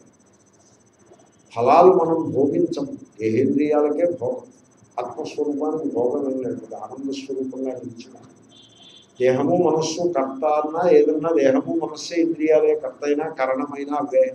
ఆత్మకర్త కాదు కరణము కాదు ఏది కాదు. కానీ అభిమానం అభిమానము అంటే తాదాత్మ్యాధ్యాస. అది నేనేనే అధ్యాసకి అభిమానము అని పేరు. వైపు కొంచెం ఎక్కువ అంటే నా కంఠానికి ప్రెషర్ వచ్చినప్పుడు మైక్ గుర్తుకొస్తుంది కంఠానికి ప్రెషర్కి మైక్కి సంబంధం ఏం లేదు. కంఠానికి ప్రెషర్ ఎందుకు వస్తుందంటే ఎసిడిటీని బట్టి వస్తుంది. యాసిడ్ రిఫ్లక్స్ ఉంటుంది. యాసిడ్ రిఫ్లక్స్ పోతుంది. అలాగే ఉంటుంది. ఒకేసారి. యాసిడ్ రిఫ్లక్స్ బాగుంది యాసిడ్ రిఫ్లక్స్ తర్వాత బీపీలు ఇవేం పోవు ఇవి అలా వచ్చి అలా ఉండిపోతాయి. గెస్ట్ల కింద వచ్చి పర్మనెంట్గా ఉండిపోతాయి. ఆ యాసిడ్ రిఫ్లెక్స్తో కంటే కొంచెం సమరం అది రాగా తయారవుతుంది దాంతో మాట్లాడినప్పుడు మొత్తం మంచిది. దాన్ని ఈ ధర్మాన్ని తీసుకెళ్ళి దాని మీద ఆలోచించి మనస్సు ఏదో అలా చేసుకోవాలి. మంచిది. సో నామ సో లోకస్య లోకస్య అంటే మనుష్యస్య అనర్థం మనిషికి లోకానికి కాదు లోకంలో ఏం లేదండి మనిషికి మనిషికి సంసారం ఎందువల్ల వచ్చింది తన్ నిమిత్త ఈ దేహేంద్రియ సంఘాతం యొక్క ధర్మాలను తన మీద వేసుకుంటాడే అధ్యారోపం విద్యాధ్యారోపం పక్కనే ఉందిగా ఆ మాట దాన్ని బట్టి వచ్చింది ఆత్మస్వరూపంలో క్రియ లేదు కానీ క్రియాభిమానం ఆత్మ కారకం కాదు కారకాభిమానం ఆత్మభోక్త కాదు ఫలాభిమానం అదే సంసారం మీరు ఈ మూడు అభిమానాలని తిరస్కరించండి. There is doing but I'm not the doing doing ఫలం I'm not the I don't want result శ్రీకృష్ణుడు చెప్పింది అది. మీరు తిరస్కరించి సాక్షిగా ఉండండి మీరు సంసారం పొందుతున్నారు సహా నిరుపాధికాత్మస్వరూప విద్యయా పరివర్తయితవ్య ఈ సంసారాన్ని ఎలా పోగొట్టడం సంసారం అంటే దుఃఖం అండి. సంసారంలో సుఖపడికి ఎవరు ఉండడు అందరూ దుఃఖపడుతూ ఉంటారు. ఇప్పుడు నాకు అమెరికాలో న్యూయార్క్లో ఒక ఎగ్జిక్యూటివ్ ఆమె ఆమె ఇద్దరు ఎగ్జిక్యూటివ్స్ కంపెనీలో పనిచేస్తున్నారు పెద్ద కంపెనీ. చాలా మల్టీ మిలియన్ డాలర్ కంపెనీ. వాళ్ళు ఇద్దరు సెలవు మానేసి వచ్చి కోర్సులో జాయిన్ అయ్యి చదువుకుంటున్నారు వేదాంతం చదువుకుంటున్నారు వాళ్ళు వాళ్ళ కథ నాకు చెప్పారు. ఏంటంటే కథ ఏంటంటే వాళ్ళు బాస్ ఉన్నారు ఆ బాసు ఆ కంపెనీని నడుపుతున్నారు కంపెనీ లాభం పది కోట్లు. కానీ ఈ ఏడాది దాన్ని ఇరవై కోట్లు చెయ్యాలి అని మొదలుపెట్టారు. మొదలుపెట్టి ఆ బాసు పొగలు రాత్రి పొగలు రాత్రి నిద్రపోరు. నిర్ణయం చేస్తూ కూడా ఇదే వీళ్ళకి కూడా తను కూర్చోడు. నిద్రపోవడం కూడా తను నిద్రపోడు. అలాగా దాన్ని పుష్ చేస్తున్నారు. అలాగే ఉంటారు. బాసెస్ అలాగే వీళ్ళు కూడా అతనితో సమానంగా పనులు తీస్తూ వర్క్ చేస్తున్నారు. లాభం పదెల్లా పదిహేను కోట్లకు వచ్చింది ఇంకో ఐదు కోట్లు వస్తే ఆ ఏడాదికి సంతృప్తి. మళ్ళీ మళ్ళీ ఏడాది ఇరవై కోట్లు నలభై కోట్లకు మళ్ళీ పనులు తీస్తారు. ఈ లోపల ఇతను ఆఫీస్కి వస్తున్నాడు. కారు పార్క్ చేసుకుని ఎలివేటర్ ఎక్కి మధ్య ఫ్లోర్లో వస్తూ ఉంటే హార్ట్ అటాక్ వచ్చింది. నలభై నలభై ఐదు ఏళ్ళ వాళ్ళు యాభై ఏళ్ళ లోపు హార్ట్ అటాక్ వచ్చింది. హార్ట్ అటాక్ వస్తే అంబులెన్స్. అమెరికా కదా ఎక్కడ కాదు. ఎక్కడ పడితే అక్కడ ప్రతి ఫ్లోర్లోనూ డీఫిబ్రిలేటర్స్ ఉంటాయి. దాంతో ఇలా కొద్ది మొత్తానికి హార్ట్ని సెపరేట్ చేసి అంబులెన్స్లో పడేసి ఆ హాస్పిటల్కి పట్టుకెళ్తారు హాస్పిటల్లో ఒక ఎయిర్ కండిషన్ అసలే హాస్పిటల్స్ అమెరికాలో హాస్పిటల్సే బాగుంటాయి. అందులో ఇద్దరేమో company top CEO CEO chief executive of CEO అంటారు. పూజ స్వామీజీ సిఈఓ గురించి చాలా జోకులు చెప్తారు. సో వీడు సిఈఓ కనుక టాప్ క్లాస్ హాస్పిటల్కి తీసుకెళ్ళారు ఏదో Beth medical Israel Beth medical సెంటర్లో అక్కడికి పట్టుకున్నారు న్యూయార్క్లో మన్హాటన్లో దాంట్లో ప్రైవేట్ సూట్లో uh, ఇతన్ని వైద్యం హోటల్లో ఉన్నట్టుగా వైద్యులు అందుకున్నారు. మొత్తానికి వీడిని కొంత కంట్రోల్ చేశారు. బై బై ఈవినింగ్ కొంత స్టెబిలైజ్ అయ్యారు. ఏదో ఐసీయూలోనే ఉన్నాడు ఇంకా. ఇంకా లైఫ్ సపోర్టింగ్ సిస్టమ్స్లో ఉన్నాడు. వీళ్ళిద్దరిని పిలిచాడు. ఎగ్జిక్యూటివ్స్ ఇద్దరిని. వీళ్ళు డిప్యూటీస్ వాళ్ళని పిలిచాడు. సాయంకాలం ఆరు గంటలకు ఇంటికి వెళ్ళే టైంలో పిలిచాడు. పొద్దున్న హాస్పిటల్లో జాయిన్ అయ్యి సిక్స్కి అలా పిలిచాడు. పిలిచి నేను హాస్పిటల్ నుంచి ఆఫీస్కి వచ్చేప్పటికి ఈ పనులన్నీ అవ్వాలి అని వీళ్ళకి డిక్టేట్ చేశాడు వాడు బెడ్ మీద ఉండే. ఆక్సిజన్ బెడ్ ట్యూబ్లు హార్ట్ ప్రాబ్లం డిక్టేట్ చేశాడు అదంతా నోట్ చేసుకుని వీళ్ళు బయటకు వచ్చారు. బయటకు వచ్చి వీళ్ళలో వీళ్ళు మాట్లాడుతున్నారు వీడు అసలు ఈ హాస్పిటల్లో వీడు ఇలా జాయిన్ అవ్వడానికి హెల్త్ ఇదే అని డాక్టర్లు చెప్పారు. వీడికి ఉన్న ఈ అంబిషన్ వల్లే వీడు మహారత్న పేషెంట్ అయ్యాడు. తను రోగికి రోగిగ్రస్తుడు అయిపోయాడు మనల్ని ఇద్దరిని రోగగ్రస్తుడు చేయడానికి వీడు ప్రయత్నం చేస్తున్నాడు? అని వాడు నిర్ధారించారు పోతే పోనీ జాబ్ అని చెప్పేసి. దేవుడు ఇప్పుడు ఏం చేయాలంటే ఎవరో చెప్పారు వేదాంతంలో ఎక్కడ చెప్తారంటే సేల్ స్కూల్లో స్వామి టీవీ అని ఒకడు ఉన్నాడు వాడు చెప్తాడు ఫోన్ అక్కడ. వచ్చి ఆ కోర్సులో చేయాలి seven weeks course three weeks అయ్యాక వీడు ఫోన్ చేశాడు. మీ మాట ఏమిటి? నేను సెవెన్ వీక్స్ దాకా నీతో మాట్లాడడం ఉద్యోగం నిశ్చయం చేసుకోమని చెప్పారు. వాళ్ళు ఏమన్నారంటే దేనికోసం అండి ఉద్యోగం? ఎవరికి విశ్రాంతి లేదు? బాసుకి విశ్రాంతి లేదు ఉద్యోగాలు కింద డిప్యూటీస్కి విశ్రాంతి లేదు. వాడు సంసారి వీళ్ళందరూ సంసారం. దీంట్లో బాగుపడి కూడా ఎవరు ఉంటాడు. అందరూ దుఃఖభాజనులే అవుతారు. ఇది సంసారం. దీనికి డెవలప్మెంట్ అని ప్రోగ్రెస్ అని ఏవేమో పేర్లు పెట్టుకున్నాయి ఈ విధంగా సంసారముగా మనుషులు బతుకుతూ ఉంటారు. ఈ సంసారాన్ని మీరు నివర్తన చే నివృత్తి చేసుకోవాలి. నివర్తయిత ఎలా నివృత్తి చేసుకోవాలి? కాలసర్పదోషం అలా మొదలైతే నివృత్తి అవుతుంది. పిచ్చి కాలసర్పం దేహానికి ఉంటుంది. ఆత్మస్వరూపానికి కాలసర్పం ఉండదు. దేహానికి ఉంటుంది. మీరు ఎన్ని పూజలు చేసినా పోదు. వాడెవడో ఆ, బొందితో కైలాసానికి వెళ్ళాలని యజ్ఞాలు చేశాడు రామాయణంలో. అయినా వెళ్ళలేకపోయాడు. త్రిశంకు స్వర్గం. కాబట్టి మీరు కాలసర్పదోషం పోదు. కాలసర్పం కాపు వేస్తుంది దేన్ని? ఆత్మని కాదు. దేహేంద్రియాలకు ఎప్పుడు తప్పదు. మీరు ఎన్ని పూజలు చేసినా తప్పదండి. కాబట్టి అది కాదు చేయాల్సి. ఈశ్వరుని ఆరాధించుకోవాలి. నిత్యకర్మని చేసుకోవాలి. సంసార నివృత్తిగా ఉపాయం ఆలోచించుకోవాలి సంసార నివృత్తి ఎలాగా? నిరుపాధిక ఆత్మస్వరూప విద్య ఆత్మస్వరూపానికి ఉపాధి లక్షణములు లేవు. దేహము క్రియల్ని చేస్తుంది. ఆత్మ క్రియా సంబంధం లేదు.